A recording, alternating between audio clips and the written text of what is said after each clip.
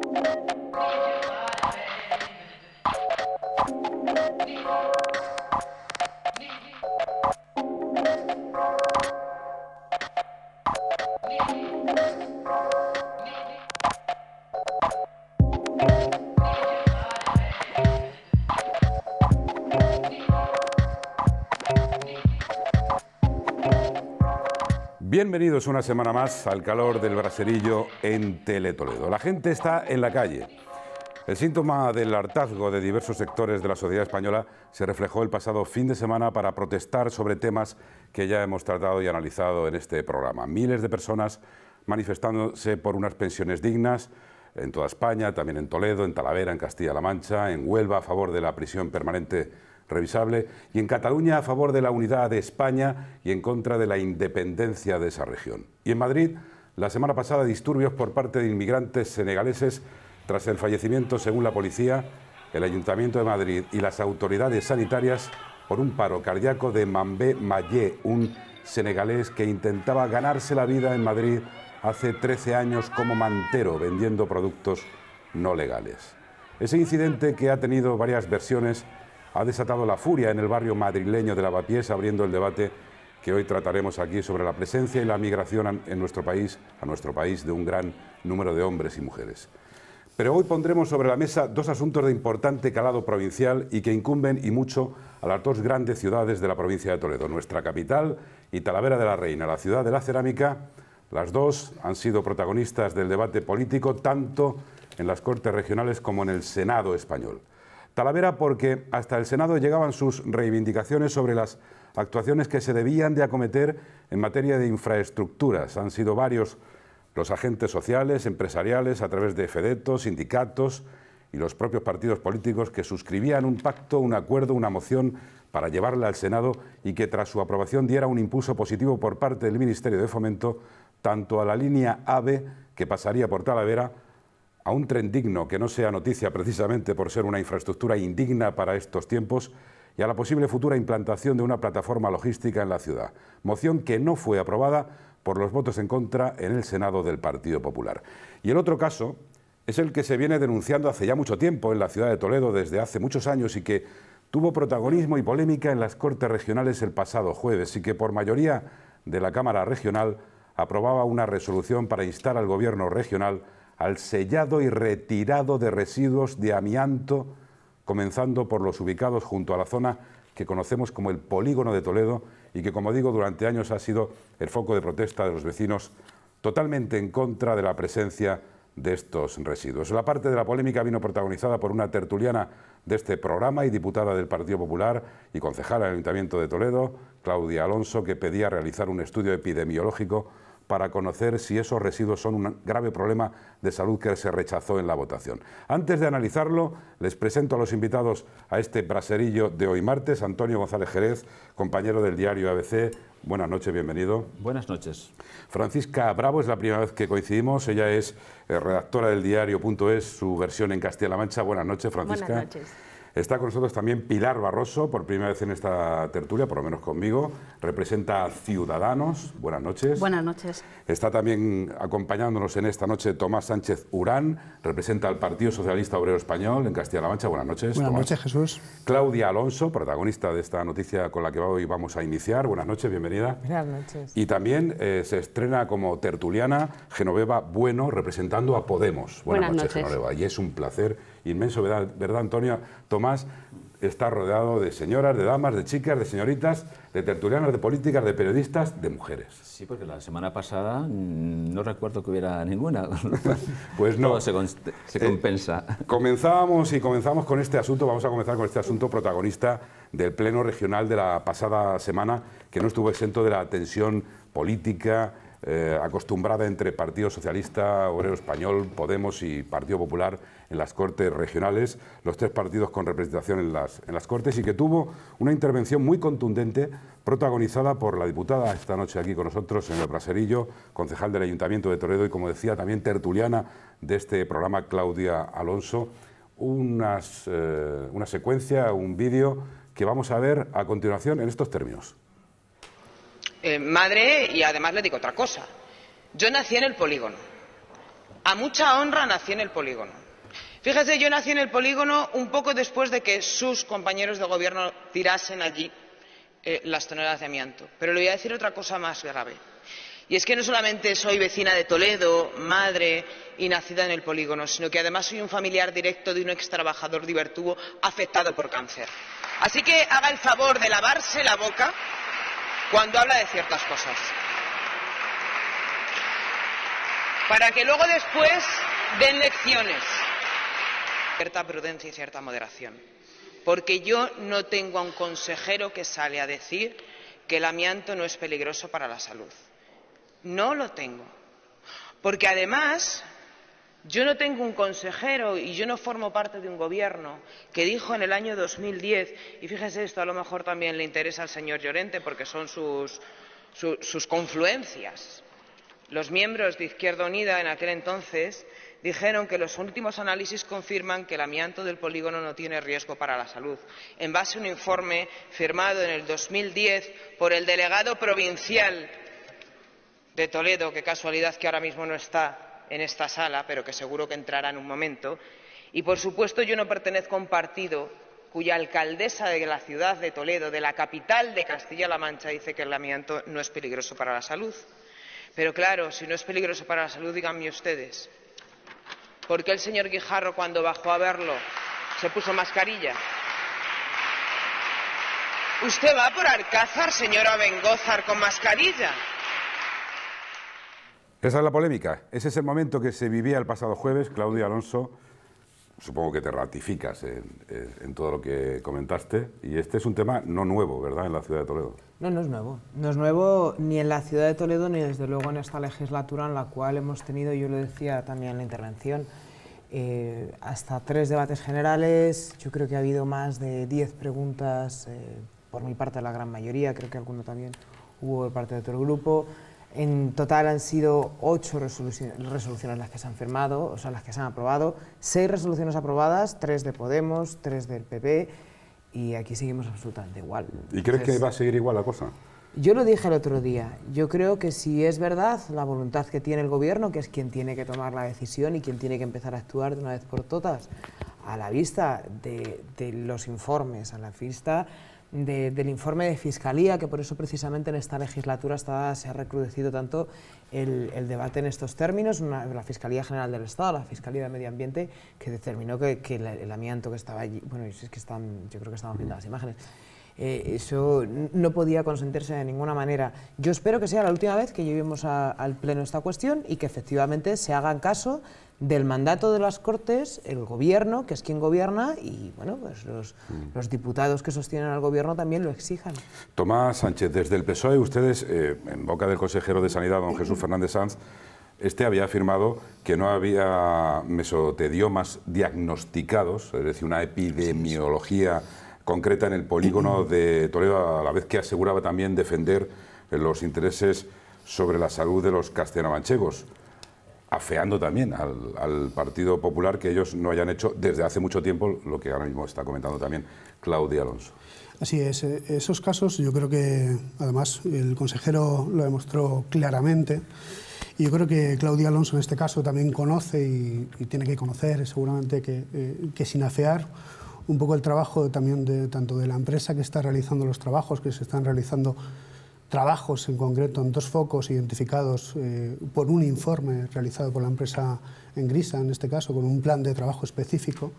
También conocerá eh, que el grupo de trabajo por parte del ayuntamiento en el cual la semana pasada se reunió conocerá los avances de ese grupo de trabajo y conocerá también los avances de los estados de trabajo para sellar esos vertidos. Como bien sabe y bien aparecía en el vídeo Claudia, en este caso, y conocedora de la ciudad de Toledo y conocedora también del barrio del Polígono, como muchos de los que estamos aquí, sabemos que, esos vertidos corresponden principalmente a nueve focos, si no recuerdo mal, o nueve sitios donde están ubicados, que ya se han realizado o se han fijado, en este caso, en un primer momento, esa fijación de los terrenos donde se van a realizar ese sellado. Y luego, por otra parte, eh, hay una labor de vigilancia, de actuación por parte del sellado, de la Junta de Comunidades de Castilla-La Mancha por parte del Ayuntamiento. La semana pasada se puso en conocimiento por parte de la concejal de Obras Públicas, en este caso del Ayuntamiento, y por el jefe de adjunto de Medio Ambiente del Ayuntamiento, tanto a las asociaciones de vecinos como en este caso también a los grupos políticos del propio ayuntamiento y, que tienen representación municipal del trabajo del sellado por parte de la Junta de Comunidades de Castilla-La Mancha. ¿Qué es lo que queda o qué es lo que hay que hacer? Sí que es cierto que hay unos resto de focos donde están ubicados, que hay un retraso por parte, de, en este caso, de la decisión de intervenir por parte de la Junta de Comunidades de Castilla-La Mancha, puesto que los propietarios de las parcelas no han, o han recurrido en este caso a la decisión por parte de, la mm. Junta de, intervenir los terrenos. Vamos a escuchar a todo el mundo, aunque Claudia, hoy eres protagonista y creo que en este, en este caso eh, vas a tener cierto protagonismo, protagonismo, pero también lo tuvo Podemos representado en las Cortes Regionales, porque precisamente la, diputada popular eh, comentaba Genoveva, Genoveva, el compañero de tu partido, que son sus confluencias, las confluencias de, Podemos, se lo decía a Llorente, concretamente el, diputado Llorente, los miembros de Izquierda Unida de entonces, que dijeron que los últimos análisis confirmaban que el amianto no tenía riesgo para la salud. ¿Os seguís afirmando y avanzando en esa idea?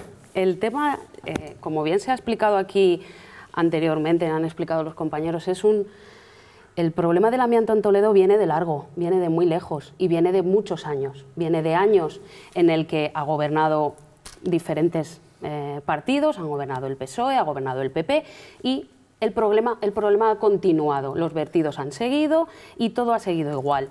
Eh, nosotros hemos pedido en los presupuestos, hemos hecho enmiendas a los presupuestos para que esto se solucione, para llegar a una solución real, hechos concretos, hechos concretos, y es que, porque a día de hoy nadie, yo creo de los que estamos aquí, yo por lo menos no soy técnico, no, no, no soy técnico ni sé cómo hay que manejar esos, esos residuos, de hecho quien lo tiene que hacer son las empresas especializadas, la gente que está especializada en, la retirada o en el sellado, que es a lo que se ha acordado, siempre teniendo en cuenta los, informes técnicos de cada de, las administraciones. Y aquí es donde toca hacer un trabajo de colaboración entre, entre administraciones, porque es un problema de salud y es un problema de medio ambiente, eso está claro. Y, lo que no se puede estar es, mm, esto no se puede seguir eh, pasando el tiempo, dejando pasar el tiempo para que eh, empecemos con dimes y diretes de tú estabas, yo estaba. No, hay que llegar a un acuerdo, soluciones concretas, hechos concretos y actuar. Y si los técnicos de la, de la administración competente deciden que hay que sellar o que hay que retirar según su criterio técnico, será lo que haya que hacer. A ver, ¿qué dicen los periodistas? Eh, empiezo por Antonio González Jerez. Eh, me decías, este es un caso desde el punto de, vista informativo es lo que llamamos un clásico. Un clásico. Es un clásico de, la información, desgraciadamente, que en el que no se ha avanzado. Y entonces, claro, cuando se lleva tanto tiempo, yo diría por lo menos un par de décadas informando del asunto, se crea una especie de incredulidad en la opinión pública que yo creo que eso es lo preocupante. ¿no? Eh, yo creo que hay una coincidencia general en la necesidad de eliminar estos residuos porque se podrá determinar mm, la peligrosidad más, mayor o menor, pero todos coinciden en que es una sustancia eh, tóxica. ¿no? Mm, claro, también es cierto, como no se ha producido ningún caso que sepamos eh, público de, pues de, una persona afectada, pues parece que eso siempre mm, puede llegar a mitigar, pero todos llegamos a la conclusión de que es necesario. Entonces, en este caso, la gente ya no cree otra cosa que hasta que no lo vea, no lo creo, como se suele, se suele decir. Es un problema, primero, eh, presupuestario. Tiene que haber un presupuesto público que permita retirar, eh, primero sellar eh, esas, esas, parcelas, esas nueve parcelas y proceder a, la retirada. También es cierto, como decía Tomás, que a veces se choca con la dificultad de la propiedad de esas parcelas que dificulten un recurso y, lógicamente, legalmente hay que, hay que atenderlo. ¿no? Pero, pero es que ya no admite más debates, es que ya está todo debatido. Está todo debatido. Entonces, la única, la única novedad es la retirada efectiva entonces ese día será, pues yo no sé, un día de júbilo, de fiesta seguramente, pero, pero la situación es esa. ¿Cómo será ese día, Francisca Bravo? El diario.es. Bueno, yo creo que especialmente para los vecinos del polígono, creo que será lo que dice Antonio, ¿no? Un día de júbilo, porque realmente lo que yo creo que aquí es lo más importante es que la preocupación de los vecinos es latente. Eh, se han manifestado, bueno, hace, la semana pasada presentaron un, escrito ante el, defensor, del pueblo, me refiero, se han, es una movilización constante porque la gente claramente está preocupada por lo que dice Antonio, es una sustancia claramente tóxica y ya creo que eh, seguir con el dime y direte político de quién lo hizo, quién no lo hizo, creo que no soluciona la preocupación de vecinos que tienen hijos, que tienen familiares mayores y que viven muy cerca de una sustancia muy tóxica y también muy polémica, porque está por toda España, pero aquí está a cielo abierto, es decir, y se trata de una sustancia que, que sabemos que se va esparciendo por el viento. Entonces, estas últimas semanas que ha habido tanta borrasca y tanto viento, pues creo que es necesario que, ya llegue a un punto final. Bueno, eh, la polémica aparecía cuando en una red social, en Twitter, eh, tú misma, Claudia, el Partido Popular, bueno, leo textualmente, eh, Claudia Alonso, que calificabas de vergonzosas y absurdas las declaraciones que antes hemos reflejado del consejero de Sanidad, y decías textualmente en un Twitter del pasado 15 de marzo, día del, del pleno, del debate, Paje pone en riesgo la salud de los vecinos del barrio del polígono de Toledo al no solucionar el problema de amianto. A ver, es que se han dicho algunas cosas en, la mesa. No, ah. pero, este es el Twitter del Partido Popular. Sí, sí, sí, sí.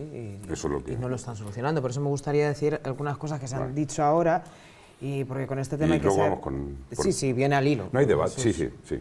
Eh, primero, em, eh, efectivamente aquí el problema es lo que se está haciendo y lo que se está haciendo no es lo que coincide con la parte que está diciendo el Gobierno y de ahí el Twitter de que no se está solucionando en absoluto la cuestión del amianto. No hay nueve parcelas, hay nueve focos determinados, que son más de nueve mm. parcelas, pero no hay nueve focos, hay muchos más. Incluso hay uno de los focos que no está determinado, que era en la parcela del barrio avanzado, donde iba a haber un barrio ecológico maravilloso, que eso sí que era un clásico en mm. Toledo, ¿verdad? Antonio cuando iba a venir aquí yo en Nubel a hacer un mega barrio. Eso una. Dos, los técnicos ya han hablado, ya han hablado y ya han determinado qué fases y qué, qué manera y cómo hay que eliminarlo. Y lo que se está haciendo no es lo que han dicho los técnicos. Lo que se está haciendo es tapar unas parcelas en las que precisamente el informe de Ingrisa decía que había que eliminarlo mm. y, de una manera determinada. En las Cortes, más cuestiones. En las Cortes se han llevado a cabo una serie de, de enmiendas a los presupuestos, sí, pero no se quiso por parte de Podemos que la enmienda se aumentara en la cuantía suficiente como para que al menos el núcleo principal que está más cerca de las viviendas se pudiera eliminar.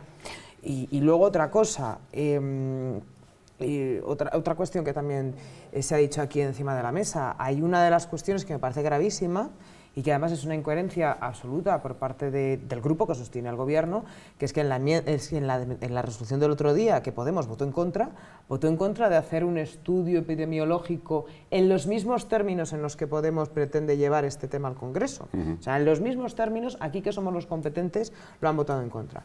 Y no es efectivamente, y ojalá Dios quiera que no haya ni un solo caso en Toledo de afectados no trabajadores de la empresa Ibertubo. Eso yo creo que pero también hay que tener una cosa muy clara y es que ya hay sentencias en otros municipios de España que no son el municipio con mayor acumulación de amianto en vertedero como nosotros. Pues disculpa Pilar Barroso, tenías que intervenir, pero no, no, era una disculpa, pero es que tenía que dejarla que interviniera porque estaba pidiéndome paso porque han sido eh, cuatro manifestaciones que, bueno, al final tampoco ha habido tanto debate, porque todo el mundo estamos de acuerdo en que hay que retirarlo. También hay que recordar que las tuberías de agua potable de toda España o de gran parte de los municipios españoles son de Uralita, para que lo entienda la gente, de que tienen ese componente que es el amianto que debe desaparecer y que ya no se puede instalar por ley, ¿no? O sea, tenemos que tirar ya de PVC, de cobre en las instalaciones, en los saneamientos municipales, ¿no? Pero eso habría que levantar España. Pilar Barroso, quiero tu valoración desde Ciudadanos. Bueno, la opinión de Ciudadanos en este sentido va, yo creo, a poner hincapié precisamente en lo que comentaba Antonio, ¿no? Aquí es una cuestión presupuestaria.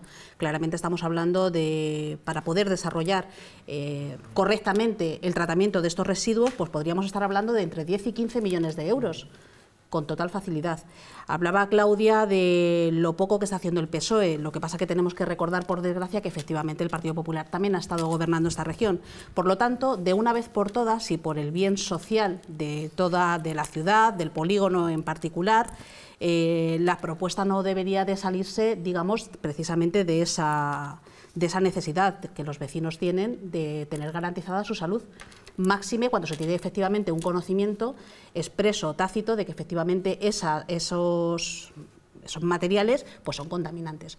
¿Qué es lo que sucede? Efectivamente, si la Junta de, Comunidades de Castilla-La Mancha eh, solicita un informe que imagino objetivo, eh, y ese informe lo que dictamina es que tiene un 0,01% de miligramos en aire, y entienden y emiten un informe que dice que efectivamente ese aire no está ocasionando ese gravísimo problema, digamos, que habría que atajar de forma inminente, pues lo que efectivamente habría que hacer es una actuación inmediata. ¿Cuál es la actuación inmediata? El sellado. ¿Es lo que queremos? No, lo que queremos es la retirada.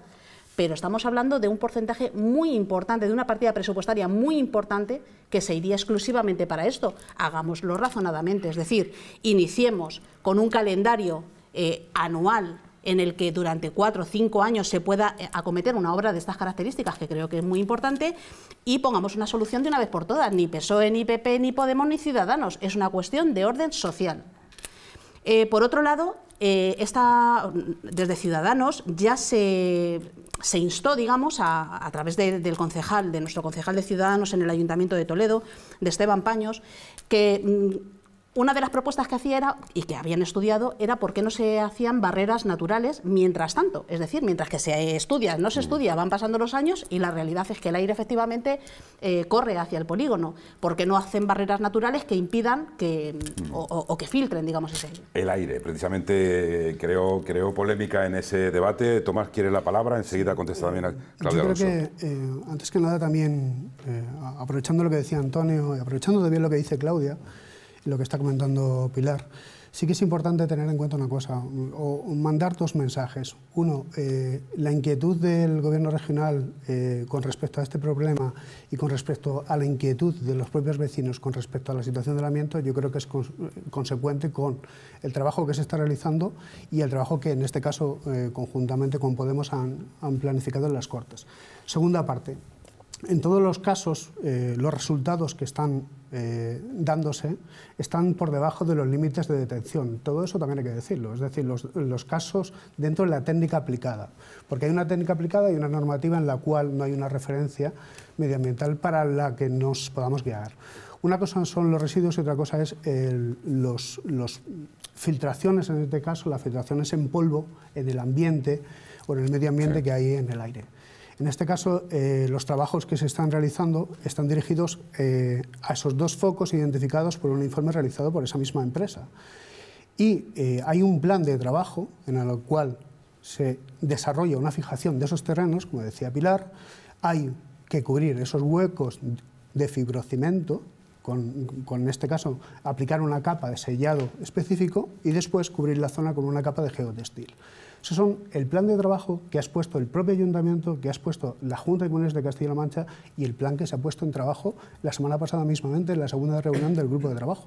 Es que yo tengo la sensación de que os han contado de qué va el tema, pero no, con todo mi respeto y consideración, simplemente os lo han contado. A ver, eh, la Junta no ha pedido que se hiciera un informe. El informe lo hizo el Ayuntamiento a instancias de los vecinos y a instancias del Pleno del Ayuntamiento en el cual los cuatro grupos políticos acordamos esta cuestión. En el informe se hizo en base a los datos que da el Ayuntamiento y, se obviaron algunas cuestiones que yo creo que son fundamentales que dio precisamente la plataforma Mi Barrio Sin Amianto y que dieron los propios vecinos.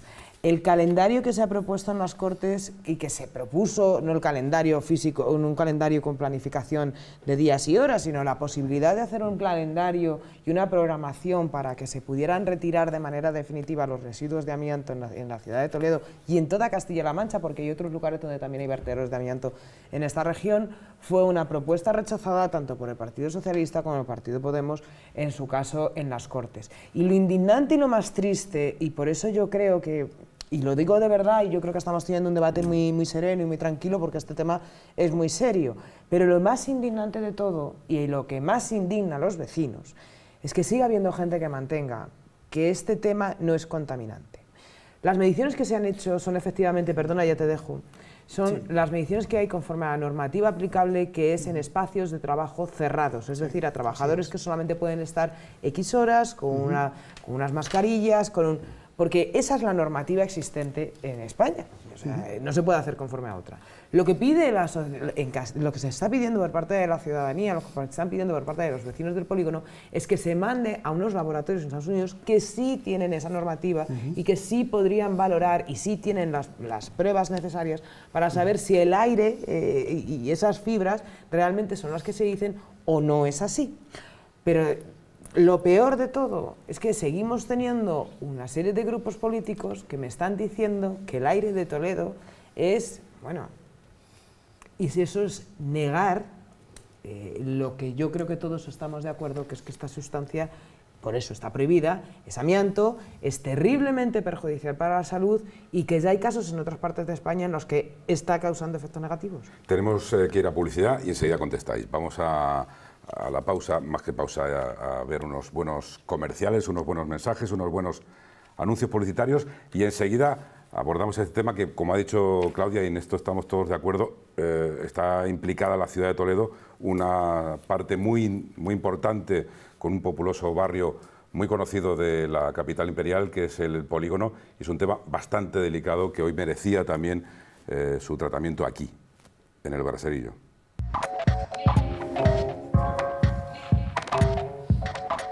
Análisis de fibras de amianto, el amianto, el sellado, los estudios es lo que precisa, pero ya, porque lleva mucho tiempo Toledo manteniendo una, por así decirlo, para que todo el mundo lo entienda, han visto, han visto ustedes las imágenes, una escombrera genoveva de, residuos que, que no deben estar ahí. Sí, es que vamos a hablar de hechos concretos, hechos concretos como el que dices el amianto, los residuos, llevan años ahí, años en, los que ha gobernado el PP, años en los que ha gobernado el PSOE, pero sobre todo ahora mismo el PP, que es el que, eh, la señora Alonso, que es la que está eh, sacando este tema fuertemente en, el Pleno el otro día que la vimos, vehementemente, gracias.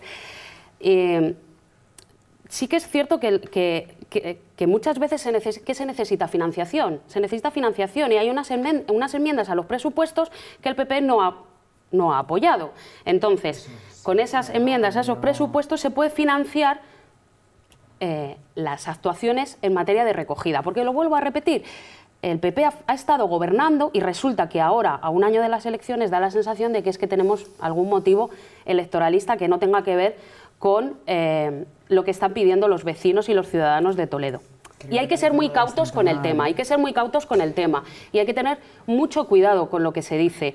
Hay que tener mucho cuidado con lo que se dice en cuanto a enfermedades y en cuanto a peligrosidad. No hay que crear una alarma social que pueda ser innecesaria. Hay que actuar y hay que eh, tomar una decisión y hay que hacer las cosas como se tienen que hacer. Pero hay que tener mucho cuidado con la alarma social. Yo perdóname, pero creo que te han informado bastante mal. 30 segundos, por favor. 30 segundos. Esto no es en el último año electoral, llevamos con esto ya bastante tiempo.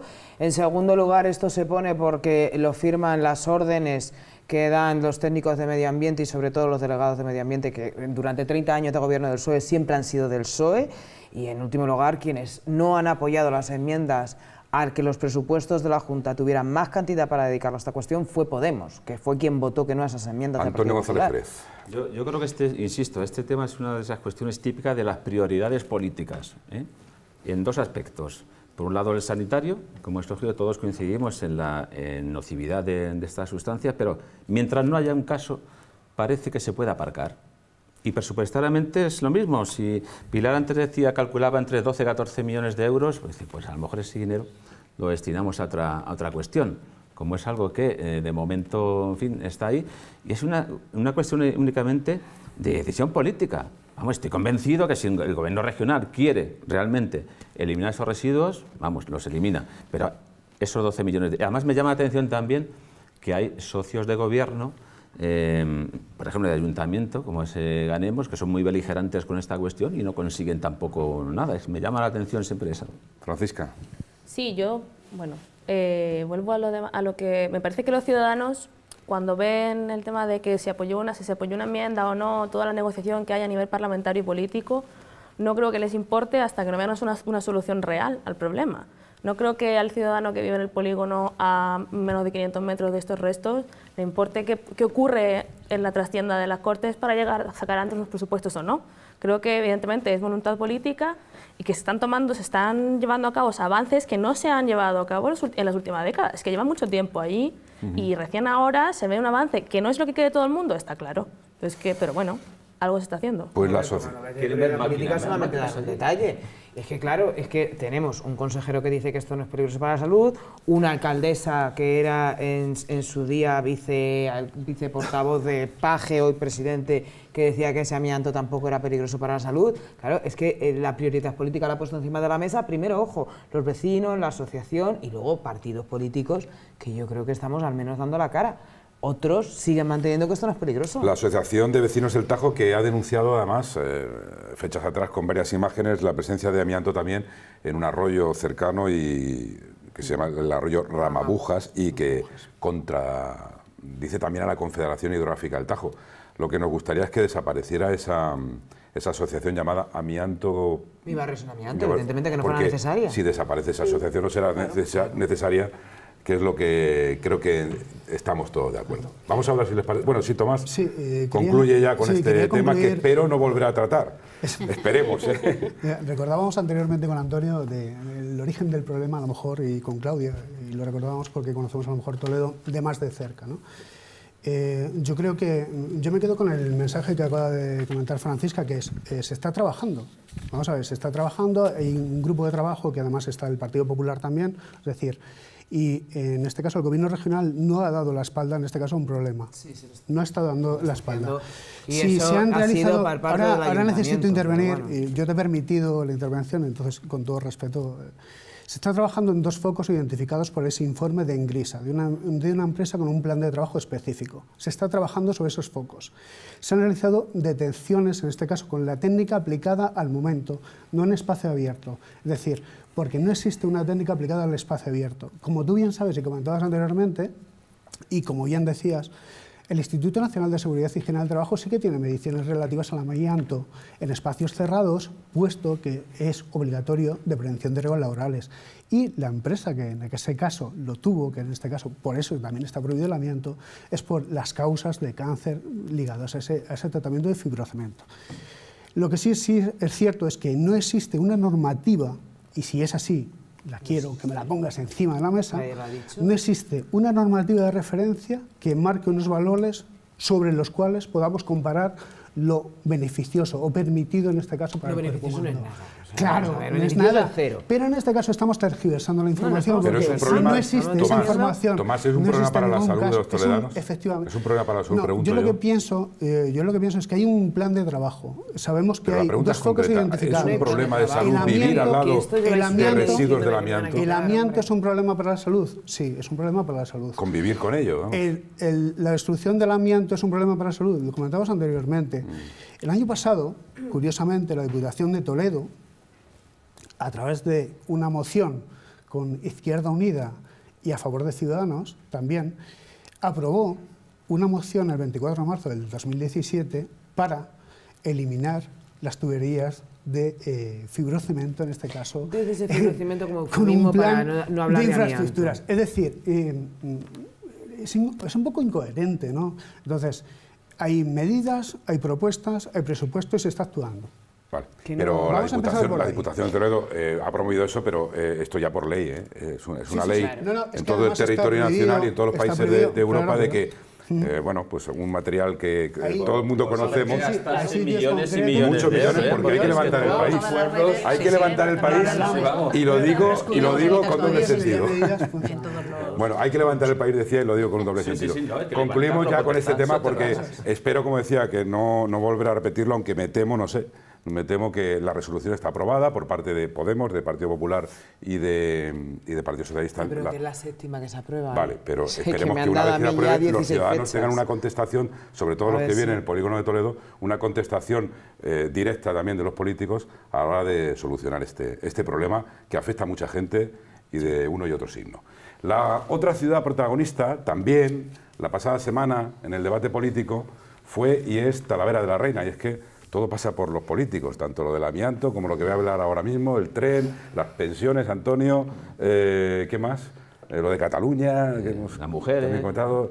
Bueno, el tema, de la, mujer, el, día, bueno, el día del padre de ayer, eso no pasa por los políticos, eso afortunadamente. Bueno, protagoniza también la pasada semana en el debate político, fue y es Talavera de la Reina, la ciudad de la cerámica azotada desde hace años por una de las tasas de paro más preocupantes y sangrantes del país, con falta de inversión como ocurre eh, en otras eh, zonas, como no ocurre en otras zonas, y también por la falta de infraestructuras necesita entradas y vías de circunvalación inexistentes como las que hay, por ejemplo, en Toledo y, otras ciudades, y ha visto como vital el desarrollo de infraestructuras ferroviarias y la implantación de una plataforma logística, un puerto seco, por ser Talavera un punto geográfico, neurálgico, para el transporte de mercancías en el centro de España. Pues bien, no solo el PSOE rechaza, eh, aquí hay para todos. El Partido Popular sorprendía la pasada semana el miércoles tras votar en contra en el Senado una moción que exigía al gobierno de Mariano Rajoy inversiones en materia ferroviaria en la línea de trenes a Talavera. El impulso del tren de alta velocidad de nuestra provincia, Pantoja, Talavera, Oropesa, sin hacer caso a lo que establecieron todos los agentes sociales al firmar antes un pacto social por el ferrocarril de la provincia de Toledo. El grupo parlamentario en el Senado presentaba ante la Comisión de Fomento esa moción, tomaban protagonismo las enmiendas. Al día siguiente la senadora Carmen Riolobos anunciaba, que por cierto no estuvo presente en la votación junto a los senadores toledanos, todo hay que decirlo, eh, el PP, pues, como decíamos en el Senado, anunciaba la presentación de otra moción similar, pero con otros matices al día siguiente. El momento de la votación en el Senado, que ha encendido la polémica y sobre todo a los ciudadanos de Talavera, es el que vamos a ver a continuación. Vamos con la moción por la que se insta al Gobierno a la adopción de determinadas medidas para revertir la falta de calidad del servicio en diversas líneas ferroviarias de la provincia de Toledo, así como la implantación de un puerto seco y una plataforma logística en Talavera de la Reina, del Grupo Parlamentario Socialista. Se vota en sus propios términos. ¿Votos a favor?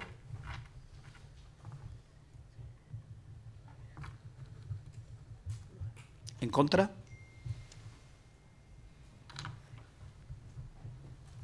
¿Abstenciones?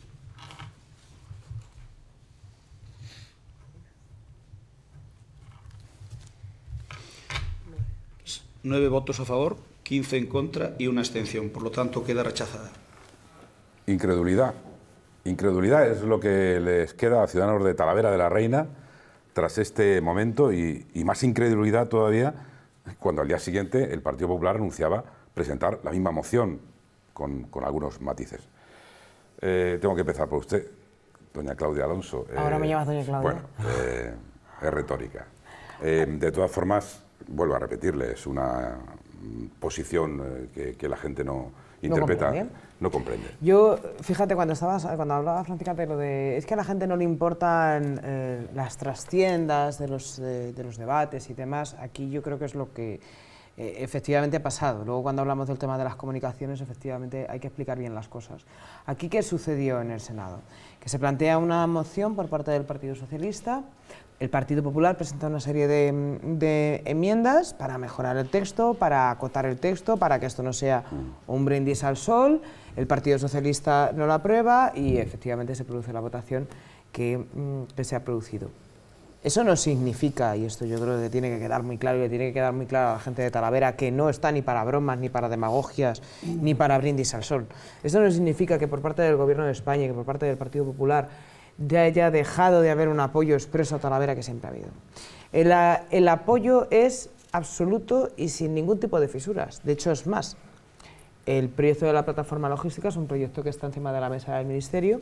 El proyecto de mejora de la de la red ferroviaria, ferroviaria es una cuestión que, tiene, que está encima de la mesa del Ministerio y que tiene dotaciones presupuestarias. La posibilidad de que venga el AVE Madrid-Extremadura también tiene eh, fecha ya para este tipo de cuestiones. Es decir, pues, bueno, pero estamos hablando de proyectos viables y proyectos realizables.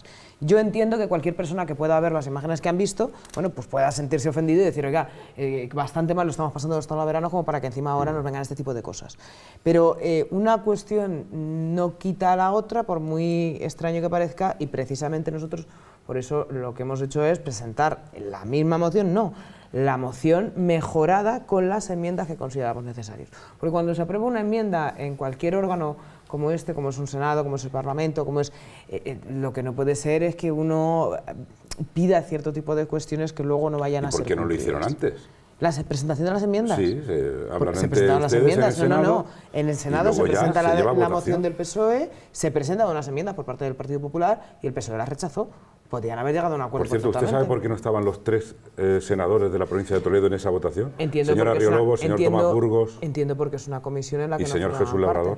No formaba parte. Es una comisión. Sí, la defendió una señora, una, senadora de La Rioja estamos hablando de que era una moción para la mejora de las infraestructuras en la Comisión de Fomento. No todos los senadores están en absolutamente todas las, las, comisiones. Tomás Sánchez, Partido Socialista. Eh, yo creo que eh, cuando se produce un hecho como, el que pasó la semana pasada, es muy difícil el poder argumentar o el poder, en este caso, decir lo que pasó. Vamos a comentar claramente lo que pasó. Lo que pasó es que en este caso, el Partido Popular retiró su enmienda durante esa mañana. Lo que pasó es que el Partido Popular votó en contra de la propuesta que había hecho el Partido Socialista en defensa, en este caso, eh, del tren por Talavera, de la plataforma que firmaron Fedeto, sindicatos, PSOE y PP, del pacto social, votó eso, fue lo que pasó, eh, eh, tal fue lo que pasó que igual que la señora Alonso en este caso pues, recordaba anteriormente en las Cortes y tenía ese titular y se los ponía a los diferentes diputados, yo, quiero enseñar este titular del otro día de un periódico de aquí de Castilla-La Mancha. El PP retira su apoyo en el Senado al AVE por Talavera y al tren convencional en el en la provincia de Toledo. esto es, lo que pasó. Bueno, estos son los titulares son más o menos similares. De la segunda parte, de una noticia determinada. El hecho, el hecho como tal. El hecho como tal. El hecho, el, hecho como Déjale que termine, por favor. El hecho como tal. 23 de enero del año 2018. Propuesta del Partido Socialista solicitando plataforma logística para Talavera Puerto Seco en Talavera y acometer las inversiones necesarias para la línea férrea, en este caso, que pasa no solamente por Talavera, pasa también por Oropesa, por Torrijos, por Illescas, llega a Extremadura y sale a Madrid. Perdón, Tomás, eh, anoto algo más en la mesa. Es, el cachondeo este del tren que se para, que se rompe en verano, que la gente va con la maleta. Es que, es que esto lo vivo yo muy de cerca, además. lo vimos todo muy de cerca. Es, por lo menos, este las mejoras de tener un tren digno, es lo que, mm. lo que piden los ciudadanos. No solo los ciudadanos de Talavera, sino todos los que usan el tren. ¿Qué nos encontramos? Nos encontramos en que el Partido Popular retira la propuesta del pacto social, en este caso eh, con los agentes sociales, sindicatos, lo retira esa misma mañana. Vota en contra de la moción presentada el 23 de enero del Partido Socialista. Y al día siguiente, en un afán de intentar solventar todo, enmienda la modificación el día 13 a las 11.50. Con tres puntos. Con tres puntos. Similares, hemos dicho. Similares, no. Copiados a lo que dice el Partido Socialista al día siguiente. ¿Qué significa eso? Significa que el Partido Popular, en este caso, ni ha defendido ese tren, ni ha defendido el nudo logístico, ni ha defendido a la ciudad. Tomás, eh, me va a gustar eh, escuchar tanto a Francisca como luego a Antonio, como periodistas, que, porque es que estos casos, en mi enunciado, he dicho que que no solo el PSOE rechaza, porque el PSOE ha rechazado el caso anterior, el estudio epidemiológico sobre el tema del amianto. Es decir, que, el ciudadano luego lo ve también como una guerra partidista, eh, de a ver quién puede más o quién, con perdón, con perdón, a ver quién la tiene más larga. Genoveva eh, representando a Podemos. ¿Cuál es su, eh, tu postura? Lo que está claro... Os tutea todavía ya lo que está claro, a partir de mejor. Lo que está claro es que lo que se firma en Castilla-La Mancha por la señora Riolobos, cuando llega a Madrid, no se cumple. Eso para empezar. Yo creo que es un resumen bastante claro y conciso. Eso lo primero. Se firma un pacto, un pacto social por el ferrocarril. Y se firma por, como ya has dicho, comisiones, UGT, los empresarios. Se montan en el tren, se, se montan en el tren, se hacen las fotos, se ponen las chapas, pum, todo el mundo, vamos, no todo. gente en el tren. ¿eh? Y entonces luego resulta que llegamos al Senado y la señora Riolobos se echa para atrás. Entonces, no está defendiendo a Castilla-La Mancha. No está defendiendo a Castilla-La Mancha por mucho que se intenten buscar eh, argumentaciones para, para hacer creer a los ciudadanos que es que, bueno, una enmienda, igual que, que el, argumento de no, es que a los ciudadanos no les interesa, que es cierto lo que yo suscribo, lo que decía la compañera del periódico, a los ciudadanos no les interesa, pero no les interesa en ninguno de los casos. No les interesa. Lo que ven es que aquí lo que se dice en Castilla-La Mancha no se cumple en Madrid, no se cumple en Madrid.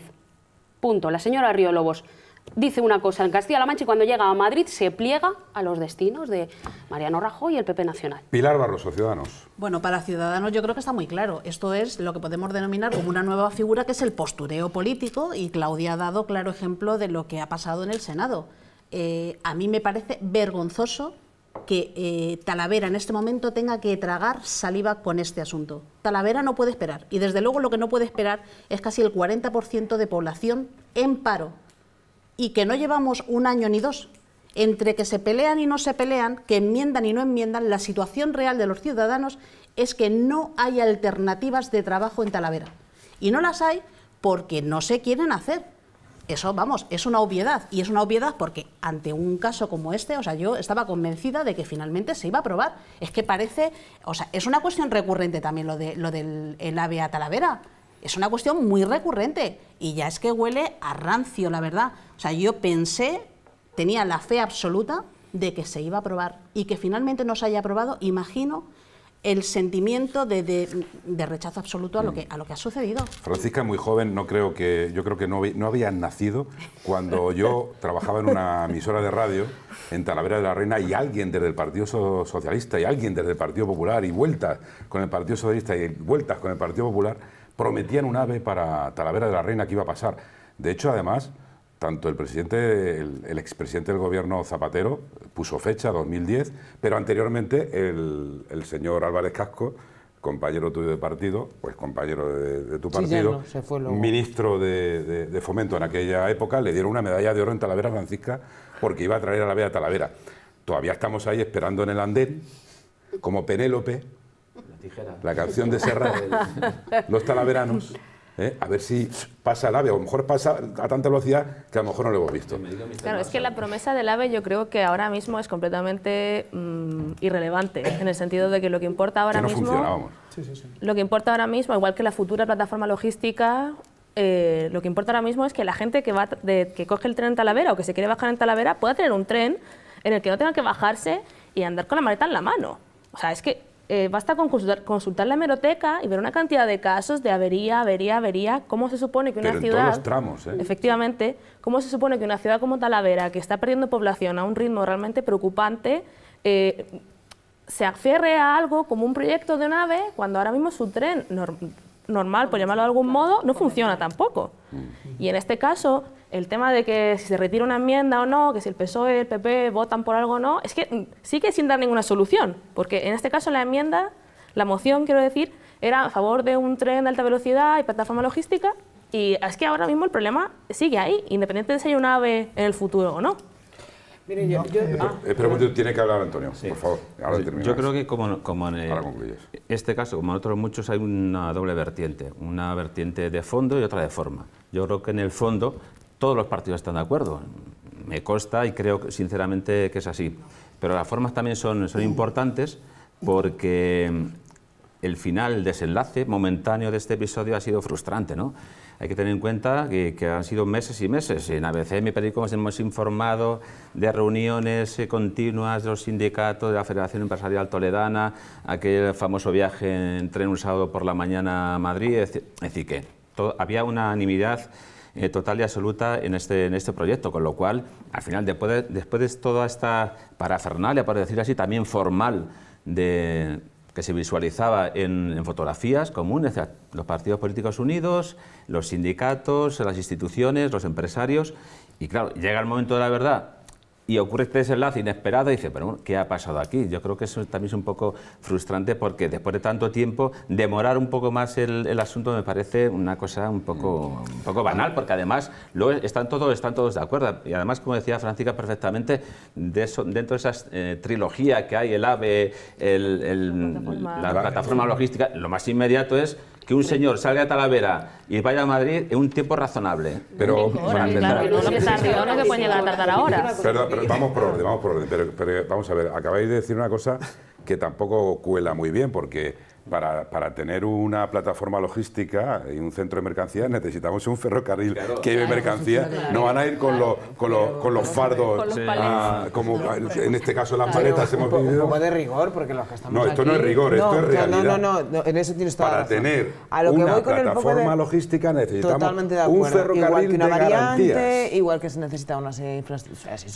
No voy a decir Pero ya no se echa la culpa a Toledo, porque de Talavera, desde algunos partidos, como, como el tuyo, el Partido Popular se ha, se ha, hecho la culpa a Toledo. Ahora en este caso no se puede echar la culpa a Toledo. Ya, ya los ciudadanos no tienen ni a quién echar las culpas. Pero permíteme una cosa, mm, es que adelante. no se puede quedar, que eso es lo que iba con el tema del rigor, no a lo que estáis diciendo, de nadie duda de la situación de cómo está el tren eh, a Talavera. Es evidente. De hecho, precisamente por eso todos estamos pensando y todos decidimos que...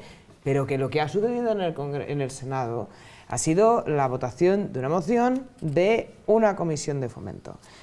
Sin embargo, quienes ejecutan, quienes sí. ponen el dinero encima de la mesa, es decir, el gobierno gobierna. Entonces, el gobierno, el ha AVE, dicho que, que el no. gobierno no ha dicho nada que, que, no se vaya a hacer. ¿Ha retirado en algún momento el apoyo? ¿Habéis oído en algún momento a alguien del ministerio decir que no se vaya Pero a poner retirado, encima de la mesa? es- es- Hemos oído en algún momento. Yo quiero decir una cosa.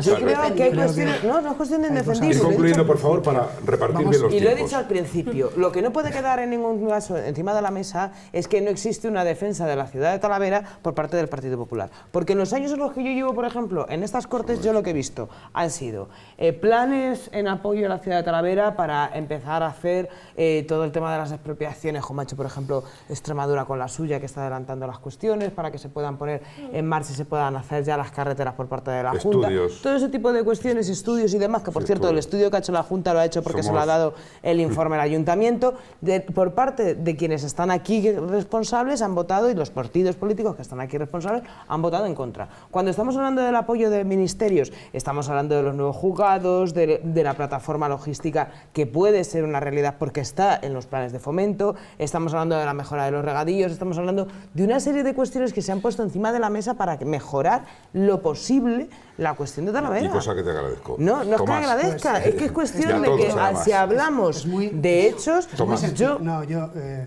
eh, Un minuto, por favor, un tenemos que ir a minuto, publicidad. Un minuto. Hablaba Luego. Antonio. eh, tan urgente, y creo que Claudio Alonso también lo conoce. Cuando hay una comisión y hay, un- y hay una votación, eh, lo que decide la comisión y traslada al gobierno es una proposición, en este caso, para acometer inversiones necesarias. El Partido Popular votó en contra. El Partido Popular, cuando ha tenido que dar la cara, no cuando ha tenido que dar la cara, las no del han Partido sido Popular para capaces que el de proyecto defender- realmente que Yo no llegase te, fuera- No te he interrumpido. yo Déjale, creo Claudia, que- por favor. Creo que estamos... Déjale.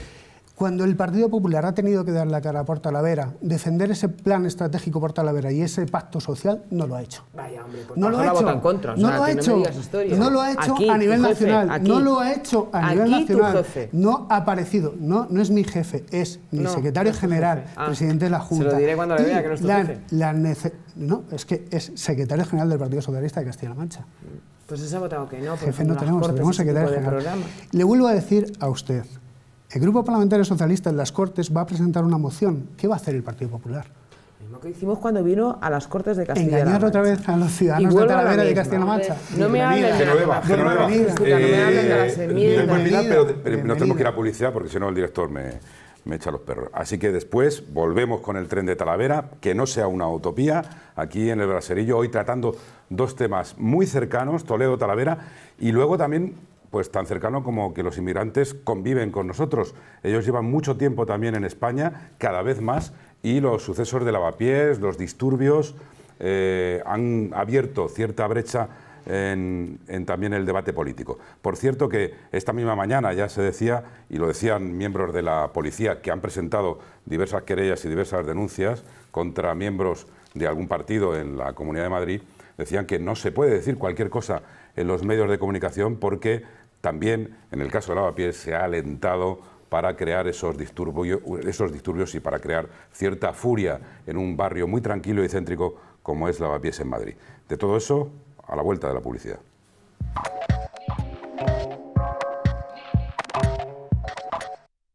Talavera de la Reina, hoy presente en el braserillo tantas veces por la crisis galopante que hace lo que decía Pilar Barroso, es un dato muy conocido, de las cinco ciudades con más paro de España.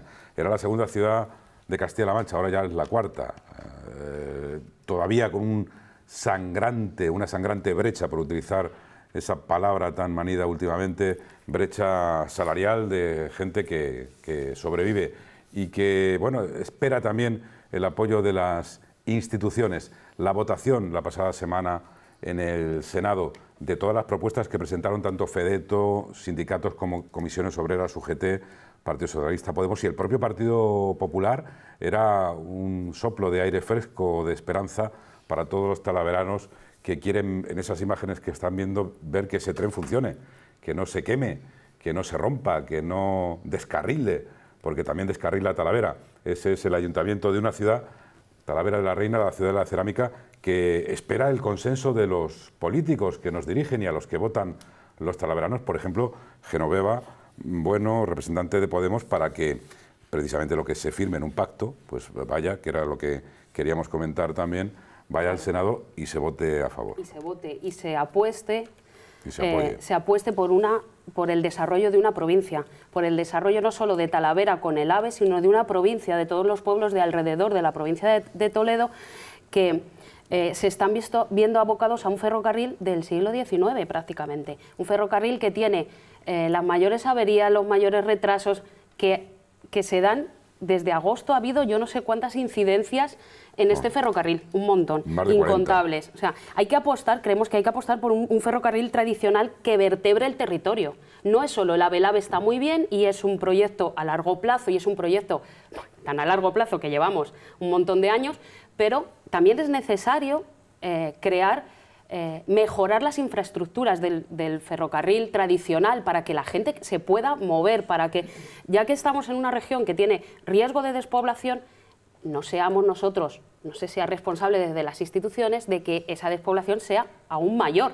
Vamos a crear una red de tren que funcione, por lo menos el tren convencional público, un tren del siglo XXI que funcione. Francisca Bravo, eh, compañera del diario.es, tú has hablado con los trabajadores de Renfe en la estación de Talavera, ¿no? Efectivamente. Bueno, ha habido una serie de movilizaciones, ¿no? No recientemente como tal, digamos. En, en este sentido, los trabajadores se manifestaban diciendo que era realmente una situación lamentable y que incluso el lo que es el conjunto del tren llega, está siendo como tan menospreciado, por llamarlo de alguna manera, que llega a depender incluso de otras localidades castellano-manchegas y la estación está vacía y da una sensación de abandono absoluto a una población entera, una población que digamos es una de las más importantes de la región. Es una ciudad importante dentro de no solo la provincia, sino dentro de Castilla-La Mancha. Entonces, este llamado que están haciendo desde, desde parte de los trabajadores, de los, de los sindicatos, todos los agentes sociales, eh, me da la sensación de que no se está escuchando o que se está diciendo, es como, sí, sí, muy bien, pero realmente finalmente no se ven soluciones concretas por ninguna parte. El tren sigue teniendo unas deficiencias muy graves que finalmente son, parecen, o sea, es un poco vergonzoso verlo en esta situación y independiente de que el PP haya votado en contra o, se haya abstenido eh, de una moción en el Senado, eh, eso es como una parte más de todo lo que está ocurriendo. O sea, es una una partícula dentro de un cuadro muy grande, de, una cosa que no funciona. Me quedo con, un dato que, es, lo que yo creo que hay que seguir transmitiendo a todos los talaveranos. En presupuestos, que por cierto, si se aprueban los presupuestos a nivel general, podrá venir, van a venir partidas concretas que son las anunciadas por parte del muy ministro. Bien, que vayan a venir, bueno, a lo mejor os pueden reír. No, no, no, no, no, no estoy hablando del futuro. ciudadanía, estoy hablando, no, estoy hablando de realidades tangibles, que es que haya un plan que es que ha venido por parte del ministro, que se, además se anunció, se ha presentado, he hecho, se Pero Claudia, ¿no será que los planes generales del Estado y, a lo mejor no? Entonces nos parece bien que vaya a venir en presupuestos generales del Estado partidas presupuestarias concretas precisamente para esta cuestión. Lo sabes, lo sabes. Y Fernando de la Serna ha asegurado que en el verano de 2019 finalizarán los trabajos de vía tal en el corredor, la prioridad absoluta, aquí viene de cuando estuvo. Pero se contemplan en, los planes generales del Estado inversiones para el tren. Este tipo de cuestiones han sido aprobadas por el propio ministro. en lo que se votaba, vuelvo a decir, y yo entiendo el hastío y vuelvo a entender. Y que se vuelve a votar otra vez, porque el PP lo presenta. entiendo perfectamente que un talaverano que haya visto esta noticia esté indignado y enfadado, como es, por ejemplo, el caso de un talaverano. Claro, sí, sí, O sea, lo entiendo perfectamente. Pero de ahí a que se diga que este proyecto se haya tirado a la basura es mentir y eso lo, sabemos todos. no, pero de la sensación de. Entonces, cuando yo estoy diciendo, oiga, que es que los presupuestos van a venir partidas, oiga, que es que vamos a ver que es que es una realidad tangible, oiga, que es que no puede ser, que es que hay algunos partidos que están hablando de que esta cuestión tiene que ser prioritaria, pero que luego en casos como es aquí en Castilla-La Mancha llevemos partidas a los presupuestos para apoyar la Talavera y no se firme. una pregunta simplemente, un titular. Talavera queda en una situación muy delicada en sus aspiraciones de infraestructuras ferroviarias y de transporte. ¿Quién, ¿quién, ¿quién lo diría? Tú imagínate quién lo diría esa persona me lo dijo, sí, pues te lo voy a decir ahora mismo. El alcalde de Talavera. El alcalde de Talavera, que es un hombre primero de Talavera, que le duele situación muy delicada. en Talavera. No, yo me refiero a que, que salga a eh, defender Talavera, que claro, es lo que hace con es que Eso es lo que quedó y lo que Talavera ese día. Que es alcalde Tomás, de Talavera pero también el Partido Socialista, vosotros habéis gobernado en Talavera de la Reina muchos años. La última legislatura antes de Gonzalo Lago y de señor Jaime Ramos, 12 años de José Francisco Rivas, alcalde de Talavera de la Reina. Y efectivamente, el puente ese, ese, magnífico homenaje a la nada que existe en Talavera de la Reina, que esperemos que, que, sirva para que sirva para Por lo menos ahora mismo no sirve para que circulen muchos coches o solo muchas personas. No era lo que necesitaba Talavera, eso sí que te lo digo como talaverano. Necesitaba otras cosas también. Pero también gobernó el Partido Socialista en Castilla-La Mancha mucho tiempo. Pero también gobernó el Partido Socialista en España. Y también ha gobernado, el, Partido Popular. y esto ya no les vale. A los talaveranos ya no les vale. Ya no saben a qué, a qué quedarse y, a qué, a qué, moneda jugar. Un hecho, Jesús, te lo digo con las elecciones. Un hecho, un, hecho, un hecho objetivo, Jesús, es que hay un pacto en el cual hay todas las fuerzas sociales y económicas, empresariales, los ciudadanos firman un pacto. Hay unas fotografías en las cuales aparece Carmen Río Lobos firmando en las mesas del Senado.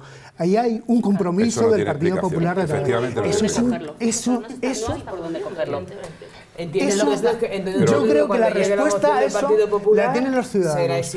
no, no votéis en contra de la nuestra. Pilar pero, no, si la cuestión es de lo que está, diciendo, de lo que está diciendo Claudia, por favor, de lo que está diciendo Claudia, a mí es que me llama la atención. Parece que es que al Partido Popular lo que le gustan son las carreras de obstáculos.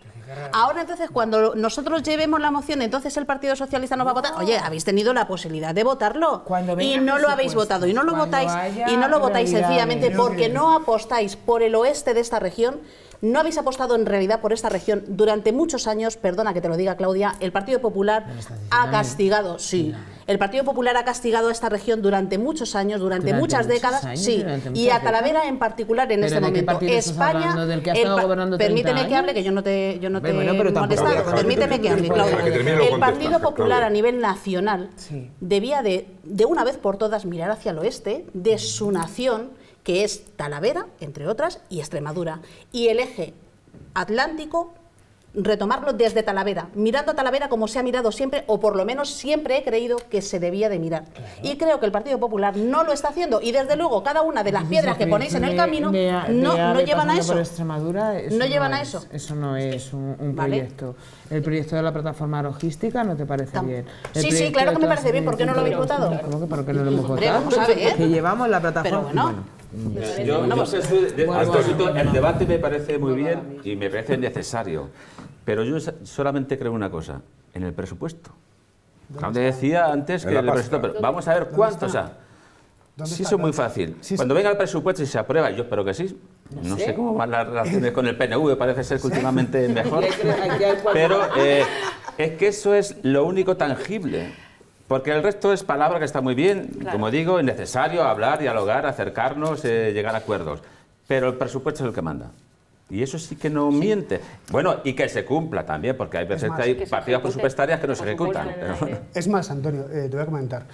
En los datos estadísticos que tenía el Partido Socialista cuando presentó la moción para, en este caso, acometer inversiones ferroviarias a la línea actual, no solamente para Talavera, para Illescas, para Torrijos, para Talavera, para Oropesa, eran 70. A día de hoy contabilizamos más de 300 incidencias.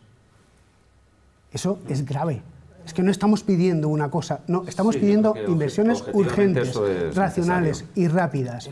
y eso, eso, el partido. la necesidad de esas urgencias? Nadie, no, es, que parece ser, nadie las ha negado, pero el Partido Popular sí las negó el otro día, votando en contra de una inversión directa el otro día, a una la línea ferroviaria. A una, a una moción, ¿podemos entrar en bucle necesito, 100 necesito acabar. Bueno, acaba, acaba. Porque acabamos. Brevemente, pero estamos en debate. Y complementando, y complementando lo que decía en este caso Francisca. Sí que es cierto que los ciudadanos necesitan una explicación. Y necesitan una explicación con hechos. Claro. Y los hechos se dan la semana pasada. Y los hechos son que hay una propuesta para pedir al gobierno que refleje en presupuestos y el Partido Popular dice, no, yo voto en contra. No. Es ¿Tú crees que esta, incoherente. con esta Es iniciativa se incoherente. solucionarían de manera mágica todos los problemas con que el No. PP hubiera votado que sí? Pero que sí yo lo- creo que, que pero es sí una cosa mucho más a rápidamente, fondo. Pero sí rápidamente, claro, pero rápidamente hay que acometer inversiones rápidas Sí. de infraestructuras. Claro. No- Y no eso de lo cara tiene al que hacer AVE el gobierno en 2019. presupuestos. No, no, eso lo tiene que hacer. Y esto está presentado desde el Que en el 2016. Congreso apoyen todos los presupuestos. Claro. El PSOE, Podemos. Ahora ya. Gabriel, sabe, Si lo aprobáis, habrá presupuesto. Es muy significativo que hablemos de presupuestos. Es el mismo, es el mismo. Gracias. Es el mismo chantaje, o es el mismo argumento de eh, el señor Mariano Rajoy con las pensiones. Señores. Yo les subo las pensiones, pero si me aprueban los presupuestos. Hombre, si no Señores, pagar, perdón, que estoy hablando yo perdona, discúlpame que estoy hablando yo. Perdonen, yo les llevo el AVE a Talavera o el tren mejoro las, infraestructu- las infraestructuras del tren en Toledo si me firman los presupuestos. Hombre, y entonces no llego, entonces, perdón, Que- y entonces no, llego, te perdona, con llego al Senado y digo que no. ¿Para qué? Para que me firmen los... ¿Esto cómo va? No, a ver, a porque ver. esto vamos a explicárselo, perdona. A Sí, ver cómo sí, se lo explicas a los perdón, ciudadanos. Aquí la señora rigor. Riolobos firma un acuerdo, un pacto. Es lo que está más claro, meridianamente claro. Firma un pacto. Está todo el mundo de acuerdo. Se hacen la foto, se suben al tren, se ponen las chapas, llegamos a Madrid, se acabó. No hay. ¿En serio me estás bueno, y si lo hay en los presupuestos, sí te los firmo. No, si te Claudia. lo sirvo, no. Es que sea. sí. O sea, Sí, eh, eh, yo eh, entiendo que conocéis un poco cómo va esto. Es decir, para poder hacer una Claro. obra hay que tener dinero para luego pagarla. supuesto. Hasta ahí todos llegamos, ¿verdad? Por supuesto. Entonces, para que y para esta- gobernar hay que tener presupuestos. y para Ah, tener presupuestos. efectivamente, esto- Claudia, o sea, es ¿Y que entramos para qué hay en dinero para la obra, entonces pero no entre lo que chantaje. Entonces, me Igual ¿Para que qué hay dinero? Per- perdón. Perdona, Gerona. Sí, yo entiendo que son todos contra Claudia, estoy- contra- no, no, estoy. No, no, no, no. no. Nada, yo no se escuchan. Estoy hablando yo. Yo estoy Eh, diciendo, eh, pero perdona, perdona. Sí, perdona. Claudia. O sea, sí, te voy yo Claudia, te voy a dejar hablar. Eh, yo os agradezco vehementemente, o sea, con la misma vehemencia que estáis defendiendo a mi ciudad. Los seis. Os lo agradezco públicamente porque me gustaría que hubiera habido aquí una representante del Partido Popular de Talavera, porque curiosamente Talavera tiene tres grandes representantes en la Bueno, política. perdón, la de Toledo y la de perdón. Talavera, porque entonces eran Pero también está la consejera de Fomento que podía haber estado aquí. La consejera de Fomento, nacida en Talavera de la Reina, en el barrio Patrocinio. Pero también podía haber estado tu compañero, el secretario general de Podemos en Castilla-La Mancha, José García Molina. También me hubiera gustado que estuviera aquí. Y la señora Riolobo, porque los tres viven en Talavera. Los tres son de Talavera y son talaveranos. Pero hoy el presentador es talaverano y permítanme a los telespectadores que también tenga mi parte opinable en esta, en esta tertulia. No voy contra ti, Claudia, porque también te agradezco que vehementemente estés defendiendo a Talavera desde tu posición, como lo hace Pilar Barroso, Antonio, Francisca, Tomás o Genoveva. Lo que te quería decir públicamente. Pero me gustaría, me hubiera gustado que hoy, hubiera a lo mejor el debate hubiera sido claro. con tres personalidades de la política que tienen mucho que ver. y- Podríais haber invitado a no, quien habéis querido. no, pero ¿sabe lo que ocurre? Que, Pero es que no también el talaverano se, se, se- yo se no sé pregunta, si ¿y estas tres personas, el vicepresidente de Castilla-La Mancha, No, yo no señor de Podemos, la señora consejera de Fomento, eh, una senadora, de verdad, tampoco nos está sirviendo de algo? La consejera de- del plan de garantías, que todavía no sabemos está muy bien sirviendo qué- de algo a los talaveranos. Bueno, tú podías haber, eh,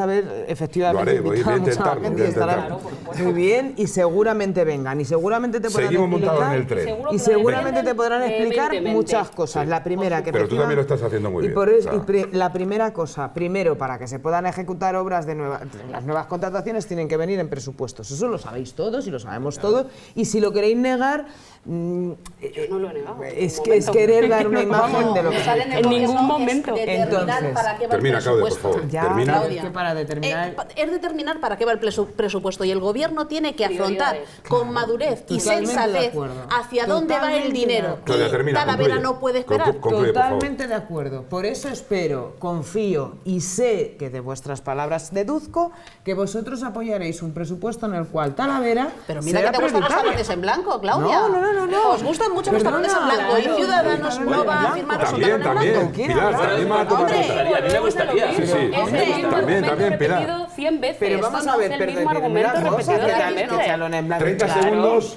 cuando el llega el proyecto Para terminar, repetido, para en cada uno. Está siendo muy complicado Claudia, que me por dejéis favor, 30 hablar. segundos. Pero no, no estamos todos No, pero que no me dejes decir Cada una frase su entera. Lo que estoy diciendo es que Adelante. nadie está diciendo ningún cheque en blanco ni tonterías de esas. Tú cuando te llegue el proyecto de presupuesto podrás ver el anexo de inversiones en el cual vengan absolutamente todas las Sí, sí, cuestiones sí, en que algunos sean. sí que lo veo, Entiendo, ¿no? En pero no me algunos no. En el proyecto veo. de presupuestos vienen luego ese tipo de cosas de cheques en blanco yo entiendo que sea el argumentario. Claudia, Repito, concluye, por eso lo primero, que supongo que los presupuestos cuando vengan este tipo de cuestiones los apoyaréis sin ningún problema, porque si no lo que estáis haciendo efectivamente son los brindis al sol que pretendía hacer el Partido Socialista. Y también pediría la misma vehemencia, Jesús, y el mismo cariño y la misma fuerza que tienen a nivel nacional en Castilla-La Mancha. Cada vez que ha venido cualquier cosa de Talavera a las Cortes de Castilla-La Mancha, todas estas personas que tú has mencionado y algunas más que también son de dicho, Talavera, como por ejemplo también la consejera de Plan de Garantías y un montón de gente más que tenemos de Talavera, encantados de tenerlos, espero que también voten a favor. Pilar Barroso, 30 segundos. Terminamos. Me apuesto- gustaría hoy mo- montar, venir un día a Toledo, hacer el programa en tren, pero creo que a lo mejor no llegaría.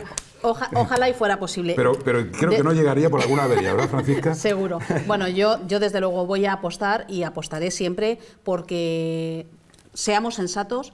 Era muy difícil llegar a un acuerdo entre sindicatos, eh, entre todos los sindicatos. Se llegó y yo creo que esto ha sido un tren que se ha perdido. No se ha perdido, Eh, no Claudia, hagáis eso, Claudia, no, no- no eh, podéis está- dar ha- esa ha, hecho, ha sensación. hecho muy bien, Claudia, con recordarnos eso, que ahora Ciudadanos también tiene mucho que ver Sí, sí. en la política nacional. No, pero no solamente ciudadanos, aquí hay grandes Todo- partidos todos a nivel todos nacional los políticos. que Sí, que todos una desgraciadamente muchas cosas pasan, todo lo de la vida pasa por la política. Genoveva, eh, tren de Talavera, para terminar.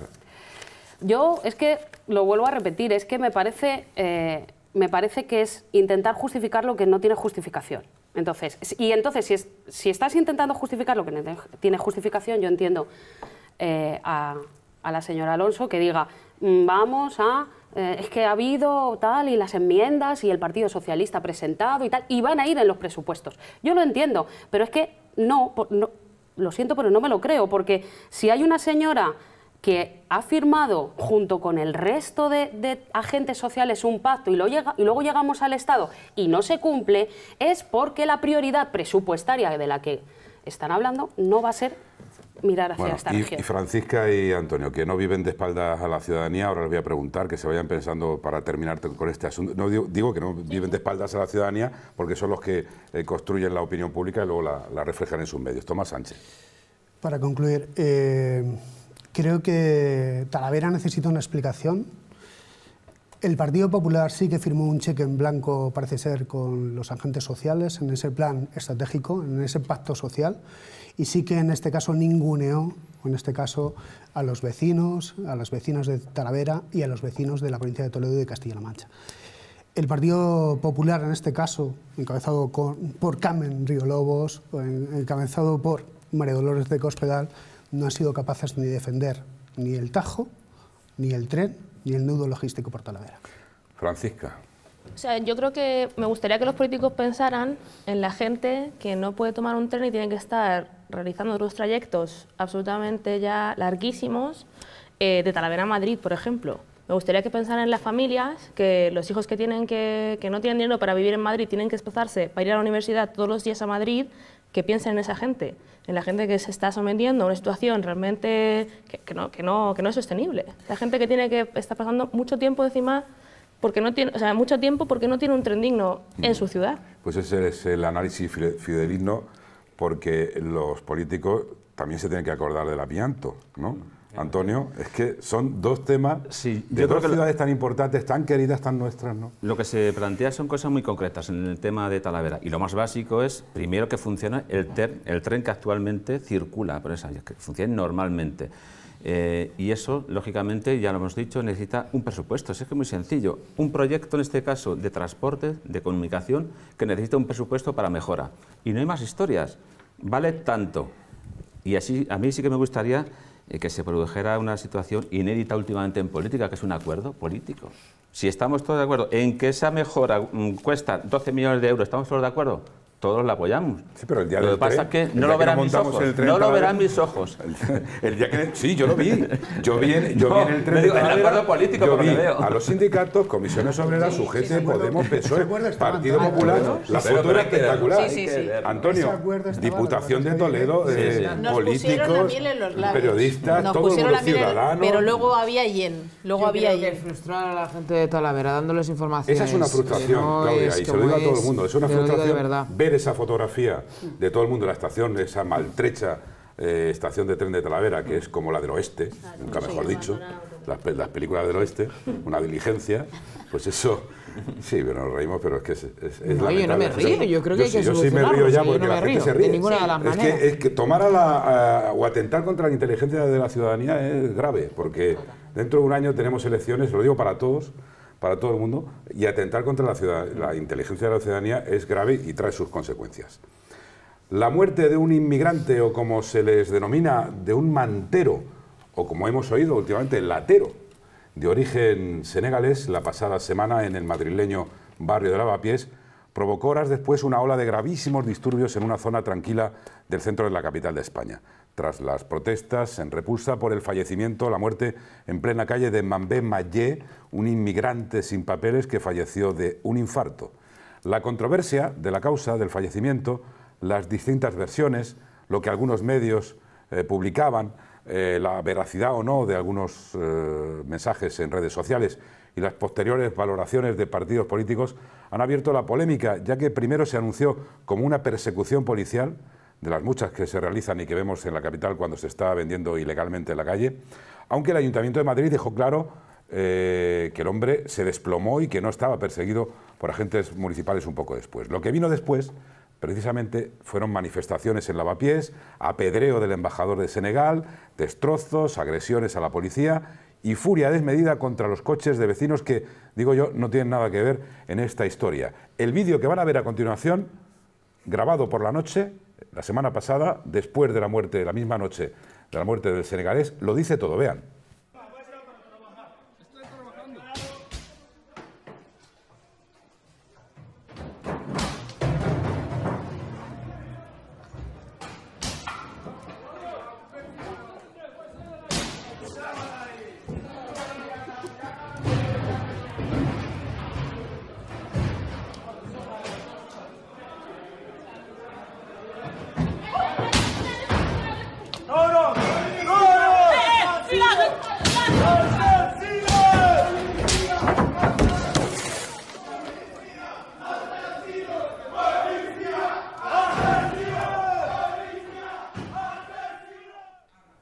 Brutales imágenes, además, con los gritos de policía asesina, policía asesina.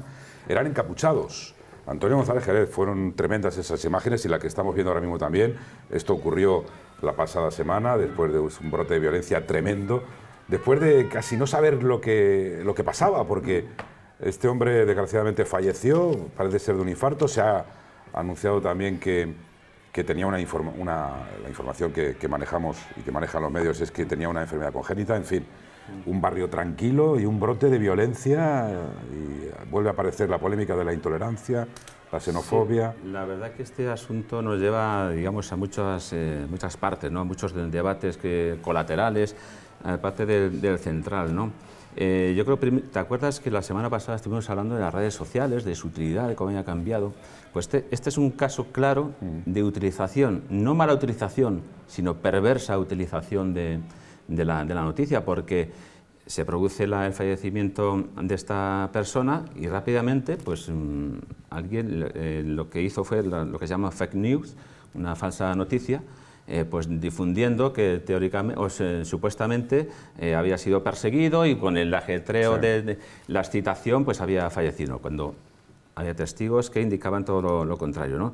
Entonces, esa acusación precipitada yo creo que es un fallo por parte de algunos dirigentes, en este caso municipales, intolerable, eh, que hacían caso precisamente a esta noticia que no eran, no eran ciertas antes de, de- de esperar a ver qué había ocurrido Y los medios. además atacar sí, y los medios, que, y medios también, también debemos contrastar Sí, siempre. sí, ¿eh? efectivamente. Y, Y no además- lanzar cualquier noticia. Claro, lo más fácil es atacar a la policía. O sea, a quien te defiende y quien atendió a esa persona resulta que era la culpable. O sea que yo creo que al final este asunto ha, causado eh, pues, eh, una indignación social para la gente de, normal, por decir así, bastante importante. Y luego hay que hacer eh, alusión también a otra cuestión la aparición de radicales, que nada tiene que ver con los senegaleses, que son los que aparecer... De invitados a, la fiesta. Efectivamente, realizaron todo, todo, tipo de destrozos. Parece ser que alguien quiere reeditar aquello de, la calle, tomar la calle otra vez, ¿te acuerdas? Sí. Eh, pues ese es un debate también importante. Yo no sé si es porque hay elecciones próximamente también y hay que tener mucho cuidado.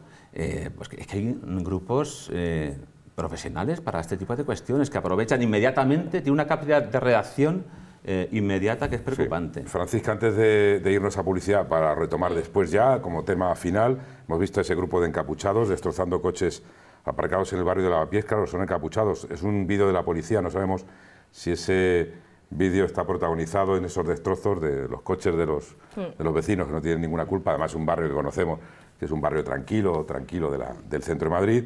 En el vídeo se ve como inmigrantes eh, rompen las lunas, hemos visto romper los retrovisores al grito de policía asesina, aunque una vecina, eh, eh, yo he visto esta mañana, esta misma mañana del martes, sobre la muerte del mantero de Lavapiés, que lo que se está contando no es verdad, es lo que dice Antonio, ¿no? que los medios también debemos de contrastar antes de lanzar, pero ya como Twitter es una, es una fauna ¿no? y es una, una selva, pues claro, se alientan muchas cosas que, claro, es, es, lamentable que se convierta finalmente en un, en un, nido del odio, ¿no? De, como que la gente saca lo peor de lo suyo ahí, en, estás oculto tras un avatar eh, y puedes soltar lo que quieras. En la sección del diario.es de Derechos Humanos, en Desalambre, han entrevistado gente del entorno de, de este mantero que lamentablemente ha fallecido y toda la gente decía que claro, que es una pena porque era una persona, una activista por los derechos de los manteros, que acudía siempre a la asamblea del sindicato de manteros en Madrid, que era muy amable con todos los vecinos y todo eso. Eh, me gustaría pensar en cómo es el miedo que siendo una persona que solamente por ejercer como, como mantero, que es una actividad que bueno, está regulada, bueno, es una actividad pero que también es una cosa de supervivencia, ¿no? Una persona que no tenía documentos, que nunca tuvo documentos, llevaba mucho tiempo en España, y cómo será el miedo que siente una persona para llegar a morir de un ataque al corazón. Eso no, no me imagino, no soy médico, pero imagino que eso no ocurre, pues que uno no va de corazón porque nada, o sea, es, ante una situación de presión. Enseguida, enseguida tratamos ese tema, a ver qué es lo que contestan también nuestros tertulianos sobre este asunto, analizan, opinan eh, con este asunto, como decimos, una explosión peligrosa en un barrio que había conseguido perfectamente convivir eh, y mantenerse al, margen de racismos e intolerancias. Yo lo conozco bastante bien, ese centro de Madrid. Vemos unas buenas recomendaciones y seguimos encendiendo el braserillo.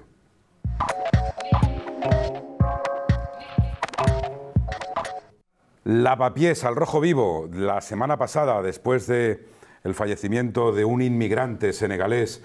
Ayer mismo, ayer lunes, el programa de la Sexta al Rojo Vivo mostró imágenes inéditas sobre la muerte del mantero Mamed Bayé, que se produjo el pasado jueves 15 de marzo en Lavapiés y que generó graves disturbios en el barrio madrileño. Las imágenes eh, demuestran que el mantero senegalés fue atendido eh, desde el primer momento por los agentes de la policía local dependientes del Ayuntamiento de Madrid. Intentaron reanimarle sin éxito una y otra vez después de que este hombre cayera desplomado tras sufrir un ataque al corazón. Y hemos hablado de las fuentes oficiales y no oficiales que crearon una, una situación de furia.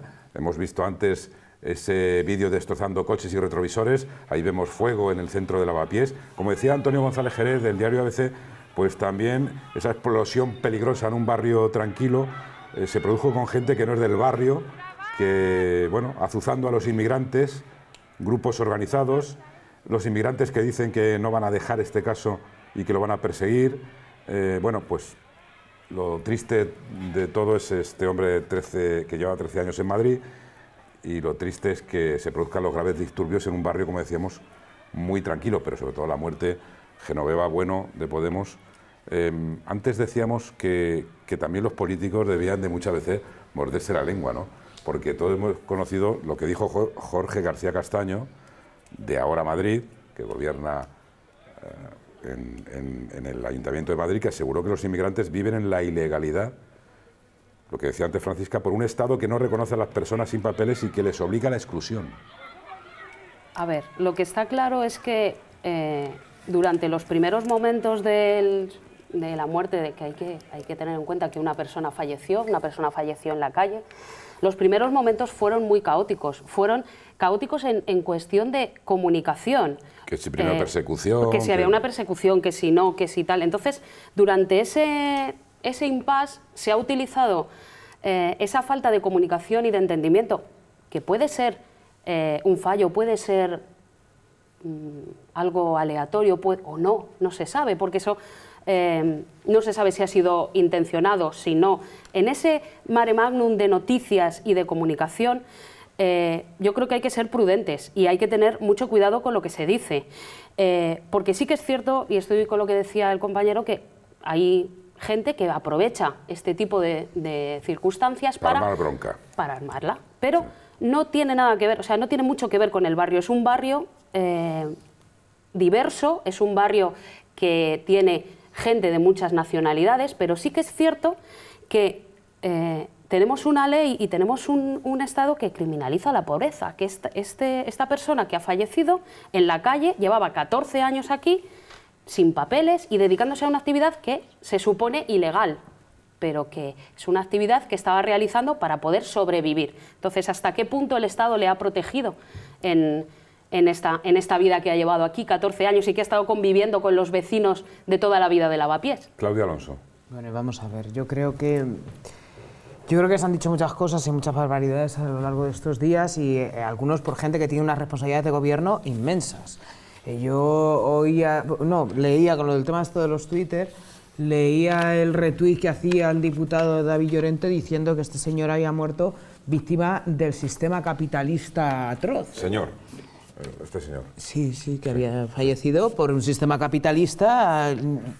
Vamos a ver, un sistema capitalista que era para contestarle, bueno, sistema capitalista, señor Llorente, del cual usted cobra tres mil y pico euros todos los meses sin ningún tipo de problema. Eh, luego, eso una. Dos, evidentemente esto se ha utilizado por parte de algunos, de la misma línea ideológica y de tu mismo partido, muchos de ellos, eh, para intentar levantar la calle. Y así lo tengo que decir, porque además, y tres, Encima lo han utilizado cuando la calle, alguna gente se les ha vuelto también en contra. Y leía las declaraciones del sindicato de manteros diciendo que hay que pedir responsabilidades a los policías responsables y al ayuntamiento.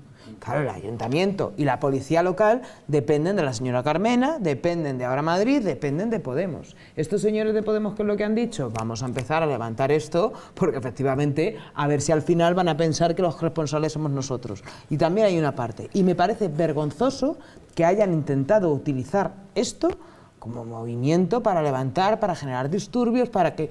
Es terrible. Y de ahí quedando muy claro que efectivamente el fallecimiento de este señor es absolutamente terrible en las condiciones en las que ha vivido. Una persona que durante tres veces, hasta, o sea, hasta en tres veces intentó pasar la valla y por fin llega a España, que ha estado aquí viviendo 14 años en una miseria muy grave. Es decir, es un caso muy doloroso. Pero claro, de ahí a decir cierto tipo de cosas como que es que España criminaliza la pobreza, por favor, estamos en uno de los países en los que los niveles de bienestar social son de los más altos del mundo, de los mejores de Europa, en los cuales tenemos unos servicios sanitarios, unos asistenciales inmensos y, muy y donde hemos acogido muy bien los que, por cierto, mucha gente de otros países. Y en los que, por cierto, la asistencia social primera, quienes la realizan son los ayuntamientos, quienes ejecutan los PLIS, quienes hacen los programas de integración, entonces que salgan precisamente los que ahora en el Ayuntamiento de Madrid tienen las responsabilidades de gobierno de ejecutar este tipo de cosas, a decir que es que el Estado lo ha hecho fatal cuando son ellos los responsables directos de este tipo de ejecuciones. Es cierto que este país ha convivido bien y que los eh, inmigrantes, en un tanto por ciento elevadísimo, conviven con nosotros, se integran e incluso ayer precisamente leía también un, un informe de educación sobre los inmigrantes que hablaba que se han integrado perfectamente también en la educación española. Tomás Sánchez, PSOE. Eh, primero, primero eh, transmitir el mensaje que ha transmitido el Partido Socialista de Madrid, que ha sido respaldar la labor tanto de la Policía Municipal, del SAMUR, de los bomberos, de la Policía Nacional, este caso de las actuaciones de, de esos días y de los disturbios. Segundo, transmitir en este caso también, que yo creo que es así, eh, un abrazo, yo creo, de todos y de toda la mesa, tanto a los familiares como a los amigos, como en este caso a los conciudadanos de, la persona que ha muerto. Y tercero, yo creo que hay que diferenciar tres ámbitos. Uno, el de los manteros, la mafia y su, en este caso, captación o pobreza. Otro, la revuelta y los disturbios y cómo se ocasionan y cuál es esa situación. Y tercero, la información, la información que se lanzó y la repercusión. Y luego también hay que atacar otra cosa muy clara. El Partido Socialista en el Ayuntamiento de Madrid, que también gobierna con Ahora Podemos, Ahora Madrid en este caso, eh, sí que ha, profundizado en, ese cambio de políticas de inmigración y ha hablado de ese cambio y ha exigido información clara y concisa de lo que pasó. Eh, al día de hoy, martes, nos encontramos en que la investigación de los hechos se tiene que transmitir a una comisión de investigación, buen gobierno, de, esos mismos, de esas mismas fuerzas policiales, del SAMUR, etc. Y nos encontramos con una persona que ha muerto, fallecida. Pero lo que sí es incoherente, es incoherente eh, que cuando hablamos de pobreza, eh, sí que es cierto que decir que vivimos en un estado en el cual estamos por encima. Eh, yo tengo un dato reciente y creo que vosotros también, que en este caso la población española anda sobre el 29% dentro del umbral de la pobreza. Es decir, estamos hablando de que hay una población bastante extensa de personas, de número de personas, que en este caso están conllevando esa, esa pobreza. Eh, sí que es cierto que hay que tratar ciertos temas como derechos humanos, la situación económica y la repercusión de esas actividades. Y las mafias, y las mafias que hay detrás de esas personas que les incitan en este caso y les extorsionan para poder realizar esas, esas actividades. Y luego, por otra parte, el intentar compilar todo en una frase diciendo que Podemos, por ejemplo, en este caso, eh, pretende levantar la calle, pues me parece un poco ya un poco discordante con la realidad que estamos viviendo, y más en una ciudad tan abierta como es Madrid. Pilar Barroso, Ciudadanos. Bueno, desde luego estamos por la vía de, efectivamente conocer realmente qué es lo que ha sucedido. ¿no? Creemos que, efectivamente sucede un hecho que es muy relevante y es que fallece una persona como consecuencia de supuestamente de una enfermedad, de una patología anteriormente que tenía anteriormente y por lo tanto entendemos que la policía no ha tenido absolutamente nada que ver. Pero eso se tiene efectivamente que, que, poner sobre, sobre folio, es decir, no se puede eh, estar eh, tirando constantemente piedras y yo creo que en ese sentido eh, Podemos, la función de Podemos nunca ha sido muy correcta en, esto en este sentido porque es muy fácil que esta situación se produzca más habitualmente de lo necesario. ¿Y por qué? Pues porque efectivamente estamos hablando de una, un tejido social muy importante de personas con graves carencias sociales, económicas, que son caldo de cultivo para efectivamente provocar violencia y a la vez de provocar esa violencia que a lo mejor en un momento determinado puede venir bien, según parece, a, algunos partidos políticos, el problema es que luego eso se revuelve. ¿En qué se revuelve? En más odio, en menos aceptación, y en menos observar realmente lo que sucede con, este, con esta población. Y es que normalmente vienen a trabajar, que por las dificultades que efectivamente pone la ley de extranjería no pueden tener habilitado su, su autorización de trabajo y residencia y les impide, digamos, tener una vida normalizada. Pero hay que tener muchísima precaución, porque nuestro país es un país acogedor que en un tiempo muy pequeño ha sufrido, ha sufrido, ha tenido una mm, afluencia de extranjeros muy importante que hay que asumir pero hay que asumir ordenadamente, porque no asumirlo ordenadamente pues puede provocar situaciones que creo que se pueden ir de las manos. Solo un No, antes, Genoveva y ahora vas Perdona, Claudia. Yo solo quiero decir una cosa, y es que se diga que Podemos ha alentado los disturbios en Madrid me parece muy fuerte. Eso para empezar que mm, es también como decir que como cuando se decía que Podemos había o Pablo Iglesias había convocado la manifestación del 8M o que mm, resulta que los pensionistas que salen a la calle también es porque Podemos los convoca y mueve a todos. Jolín, ¿qué poder de convocatoria tiene Podemos?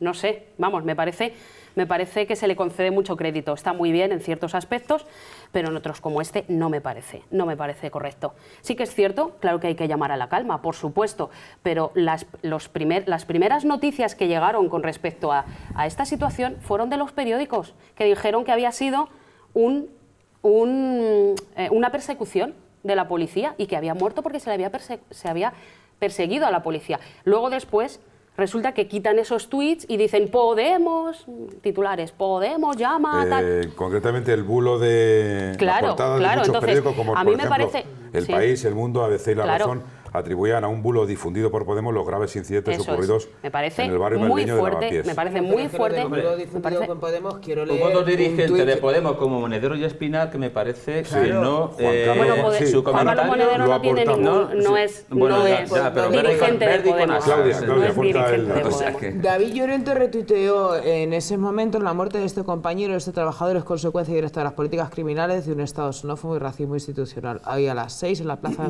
Navarrería, concentración tal, tal. O sea, sí, por parte de altos cargos de Podemos se llamó a la gente a la concentración. En esos momentos en los que, según vosotros, ahora estáis diciendo que se tenía que haber Pero, llamado a a la ver, calma. no, No, no, se vamos a llama a ver, la calma, pero es que estoy mirando Una cosa es que tú convoques a una de- concentración y otra ver. cosa es No, no, no, lo que estáis diciendo. y- No, es que lo que estáis diciendo no es el mensaje de. No, perdóname. estás diciendo que es consecuencia directa de, un- de la- de las políticas criminales de un Estado xenófobo y de su racismo institucional, no estás llamando a la calma. Tú no estás diciendo, señores, vamos a hacer una concentración en un minuto de ver, silencio ver, por ver. un señor que se ha fallecido. no, sino porque un Estado es de criminales, vuelvo a decir, una concentración y otra cosa. Vamos a ver, aquí lo que está claro es que una persona ha fallecido Sí. por las circunstancias que hay que, de- hay que, que determinar, determinar Sí, y, y, que tendrá que determinarlo la- para decir que este es un Estado no, con políticas vamos a ver. criminales Vale, yo- Y el debate, yo creo que el debate, Termina, sí, el debate es que esta persona, eh, lo que decía la compañera del diario, después de llevar 13 años Terrible, viviendo, después de llevar 13 años viviendo en España, después de estar conviviendo con la gente del barrio y estar, parece ser, perfectamente integrado, le da un infarto, parece ser, habrá que, por favor, que estoy, cuando termine me, me increpas o lo que quieras. No te increpo, Bueno, perdona. perdona, ¿me das la réplica Sí, o lo que adelante, adelante, Entonces, me parece eh, que, que es, que es muy triste. Y eso pasa, no pasa por ciencia infusa, eso pasa porque tenemos una ley que no permite a la gente estar de ¿Tú manera ilegal. consideras que la muerte de este señor ha sido consecuencia de las políticas criminales de un Estado xenófobo? Yo considero que las políticas... Bueno, esa es la libertad se- de expresión de, de Claro, mucha es que gente. yo- ¿Tú consideras que tú No, consideras ella, no- ella lo Vamos a considera ver. o no, pero, pero es la libertad de expresión de mucha Bueno, gente. pero estamos hablando de que eso no es la llamada a una perdona, perdona, conversación Antonio, pacífica. perdona, El debate- el perdona un segundo, pero que quiero apu- apuntar Sí. que ayer mismo tenemos la, la noticia que ayer mismo eh, la- los sindicatos de la Policía Municipal de Madrid han denunciado, entre otras personas, a Juan Carlos Monedero, ex, ex representante de, o, o- o representante de Podemos o afiliado a Podemos, y también a algunos miembros de la Concejalía de Seguridad del Ayuntamiento de ahora Madrid, precisamente por eh, bueno, pues insultar y decir de todo de la Policía Municipal. Claro. Apuntaba Es eso. que yo creo que al margen de lo que es el debate de la inmigración, que sería mucho más extenso y, en fin, más, más profundo, pero analizando este caso concreto, eh, yo de verdad no conozco a nadie, no me he cruzado con nadie todavía que, por la muerte en este caso, según parece, por un infarto eh, de una persona, se organice las imágenes que estamos viendo. Es que yo creo que es inconcebible. Bueno, el cojo manteca era- No era una- conozco una- a nadie que, era- que pueda establecer una proporción entre el hecho luctuoso que se produjo y las consecuencias. Pero Sí, es, a que es inimaginable. Y policía asesina a la policía que atendió a, a esa persona. Y el linchamiento del cónsul y el Claro. embajador de Senegal. y los vecinos sufriendo los desperfectos y demás, es que no está en proporción. Mm. Al margen de que se quiera eh, luego entrar en el... Yo creo que todo el mundo trató de, de- de aprovechar las circunstancias y se pasó de frenada, pero 20 Francisca. pueblos. Bueno, está claro que una situación, una situación como esta, empezar a culpar entre partidos a quién han incitado a quién, creo que no es la solución. No hemos incitado a nadie, creo que Ciudadanos Deja que tampoco. termine No, yo no estoy diciendo eso, Claudia, por favor, pero Claudia, acabas de decir que Podemos déjala. más o menos que se han No, yo puesto estoy hablando de, la- de las miembros Claudia. de Podemos Vale. que sí han incitado Utilizar las a redes la gente a sociales como una herramienta inefable, o sea, infalible, creo que tampoco es la solución. En este caso me parece que es realmente eh, una situación que se puede haber evitado, se puede haber evitado con políticas distintas a la inmigración, porque yo como inmigrante aquí en España nunca he sido sometida a ese tipo de, de discriminación, pero lo sufrimos de manera constante, porque también porque hay políticas que impiden que la gente aprenda que no so- que la gente que viene de fuera no es eh, no somos los malos. Bueno, ¿me pues ahora vamos a hacer una cosa para terminar, porque nos quedan seis minutos y somos sois seis para, para opinar. Y además que siempre el espectador de, de Teletoledo le gusta saber lo que pensáis cada uno de vosotros sobre los eh, eh, asuntos que planteamos sobre la mesa en este braserillo. Tomás, eh, una noticia que tiene que ver precisamente con los inmigrantes y varias valoraciones que se hacen es que necesitamos muchos inmigrantes a colación de las pensiones necesitamos muchos inmigrantes y mucho, mucha mano de obra que venga a un país que envejece a velocidades de vértigo y que no crece en natalidad. Y por eso quería. Que terminemos todos un minuto para cada uno para ver qué pensáis, para saber qué pensáis, cuál sería la solución, cómo hay que acogerlos, cómo tenemos que tratarlos y cómo tenemos, sobre todo, repito, acogerlos en un país que necesita mucha mano de obra no solamente acogerlos, sino también con políticas como las que se establecieron cuando, cuando en este caso estaba el gobierno de Rodríguez Zapatero, que eran políticas en las cuales se trabajaba en, los propios países con políticas de cooperación y que esas ayudas a cooperación, en este caso el gobierno del Partido Popular ha eliminado, ha ido eliminando y dejando en un cajón y olvidadas. Agencias de cooperación que existían anteriormente y en las cuales España era un referente, eh, se han olvidado y esas políticas son las que conllevan estos, estos perjuicios en definitiva. Sí que eh, eh, hay un, tema que también creo que es interesante y, que es una crítica también, yo creo que a, todos. ¿no? Cuando tú comentabas que Twitter, vaya herramienta, ¿no? vaya herramienta en este caso. Buena yo recordaba, yo recordaba las imágenes que anteriormente veíamos, a mí me recordado mucho las revueltas de los suburbios de París, ¿no? los suburbios de París, las revueltas de Londres y alguna que otra en Bruselas. Eh, las falsas noticias en este caso, o, las noticias aparecidas en esa concatenación y la falta de información, porque el ayuntamiento también podía haber sido más claro y más sencillo y más directo, haber dicho, oye, ha pasado esto, esta es la información y atajamos de esta forma. Pero la cuestión es que esas revueltas se fueron manteniendo, se mantuvieron, eh, eh, los bulos se fueron acrecentando y al día siguiente teníamos un verdadero problema ni, ni, intuyo, ni intuyo que Podemos quiera levantar la calle, sinceramente. Creo que el Partido Popular, en este caso... Termina, por favor. No, pero yo creo que eh, pasar eh, eh, el trazo gordo queda muy feo en política y en este caso levantar la calle, pues bueno, queda mal. también la han levantado los sindicatos este fin de semana, en este caso, por ejemplo, en defensa de las pensiones, pero bueno, pero de otra forma. Sí que es cierto que la información, la claridad y en este caso la repercusión de esa información es muy importante. Y esa repercusión todos tienen que hacer una autocrítica de lo que ha pasado, tanto los periódicos como los partidos. A ver si lo consigo con Genoveva. Política de inmigración. Yo estando de acuerdo con lo que dice en, un primer momento el compañero, sí que es cierto que eh, lo que no se puede hacer, y lo vuelvo a repetir, criminalizar la pobreza. La gente que viene buscando un eh, futuro mejor viene para eso, para buscar un futuro mejor. Si se le condena a la pobreza y al ostracismo y a la desigualdad, y voy un añadido más, tenemos a las mujeres que vienen de otros países, a las mujeres que vienen de otros países que además de todo esto que estamos diciendo, por el hecho de ser mujer ya tienen doble discriminación, doble brecha salarial, doble. Todo eso, lo único que se puede, que se, que puede conseguir es que sigan pasando cosas como la desigualdad, como que esta persona que llevaba 13 años viviendo aquí, o 14, los que fueran, de, manera, ilegal. de manera ilegal, no sea capaz, no pueda regularizar su situación. Eso es inconcebible y eso no se puede permitir. Las políticas en materia de inmigración efectivamente son el origen y ahí es donde está trabajando el gobierno y lleva trabajando no de ahora, sino desde hace muchísimo tiempo. Es fundamental, sobre todo para prevenir el trabajo que hacen las mafias, gente que se trae a inmigrantes bajo, bajo coacción, bajo, eh, bajo amenazas, a las mujeres a las que se les trae para luego después prostituirlas y, y tratarlas de una manera vejatoria tremendamente dura.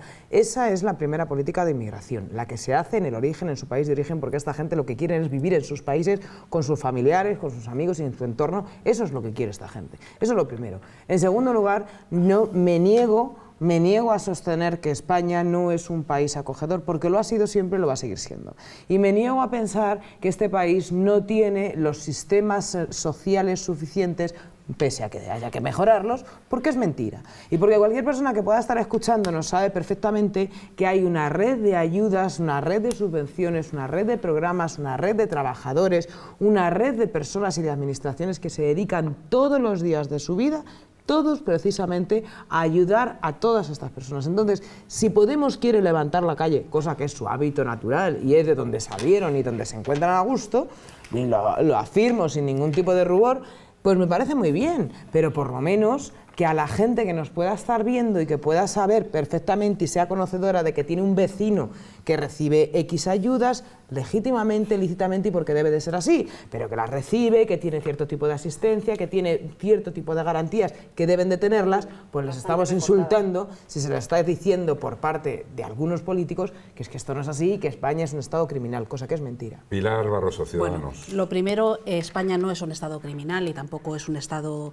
que no acoja a los inmigrantes eh, que tenga una forma u otra de acogerlos. Yo no, no, estoy hablando en general. te voy a interrumpir. No, estoy hablando en general. Eh, creo que es un, país acogedor y creo que efectivamente lo es porque eh, vienen inmigrantes pero es muy importante la cooperación al desarrollo, pero no la cooperación al desarrollo con partida presupuestaria cero como la ley de memoria histórica, ¿no? sino con perdona Claudia, perdona Claudia, sino, sino con propuestas reales y con una política real de querer solucionar lo que para nosotros también es una solución y es esa cooperación al desarrollo en el en el mundo empobrecido, porque si no no dejarán de fluir, los flujos migratorios serán imposibles de retener, porque es inevitable. Y una vez que están en territorio español, hay que intentar, en la medida de las posibilidades de cualquier gobierno, da igual el signo político que sea, dar una vida lo más digna posible a aquellas personas que han decidido tener España como el lugar donde van a vivir. Inmigrantes. Breve, porque ya... Eh, como bien has dicho, el debate de las pensiones ha suscitado este, esta cuestión y yo creo que lo, fundamental, eh, primero es el orden el orden es las políticas de aluvión creo que no conducen a nada, sino a complicar las cosas. Entonces, orden por un lado y una legislación eficaz a la hora de, regularizar los casos. Creo que hemos demostrado en este país acoger a miles y miles de, inmigrantes que están aquí en España desarrollando su, trabajo desde hace mucho tiempo. pero primero orden y una legislación eficaz.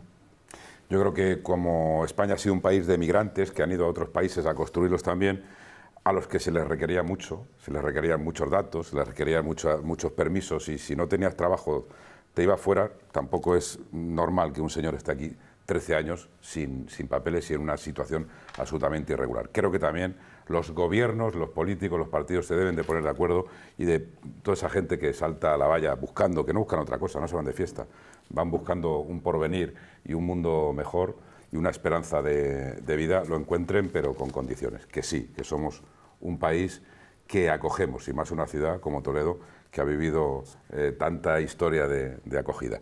Francisca, eh, desde el diario.es, muchas... Sí, termina, termina pero... Brevísimamente, yo creo que lo importante aquí, brevísimamente, yo creo que lo importante aquí es eh, centrar las políticas en la idea de que somos todos iguales, de que un papel o un pasaporte o la falta de pasaporte incluso no determina que, cierta, que una persona sea mejor o tenga derecho a más prestaciones o a, más recursos dentro de un país. Yo creo que es, es mm. crucial partir de ahí de la política de una igualdad general, de que somos todos seres humanos. Te agradezco mucho que hayas estado aquí esta noche. Muchas gracias, igualmente. y también a Tomás Sánchez Durán, muchas gracias. Y a Genoveva, bueno, buenas noches, muchas gracias. Antonio González Jerez, muchas gracias como siempre. Buenas noches. Pilar Barroso, muchas gracias por estar con nosotros. Claudia Alonso. Buenas noches. Muchas gracias. Feliz semana. Feliz semana. Una semana más hemos analizado desde diversos puntos de vista la actualidad más cercana a todos. En siete días volveremos a hacerlo aquí, en el Braserillo. Hasta entonces, que sean felices.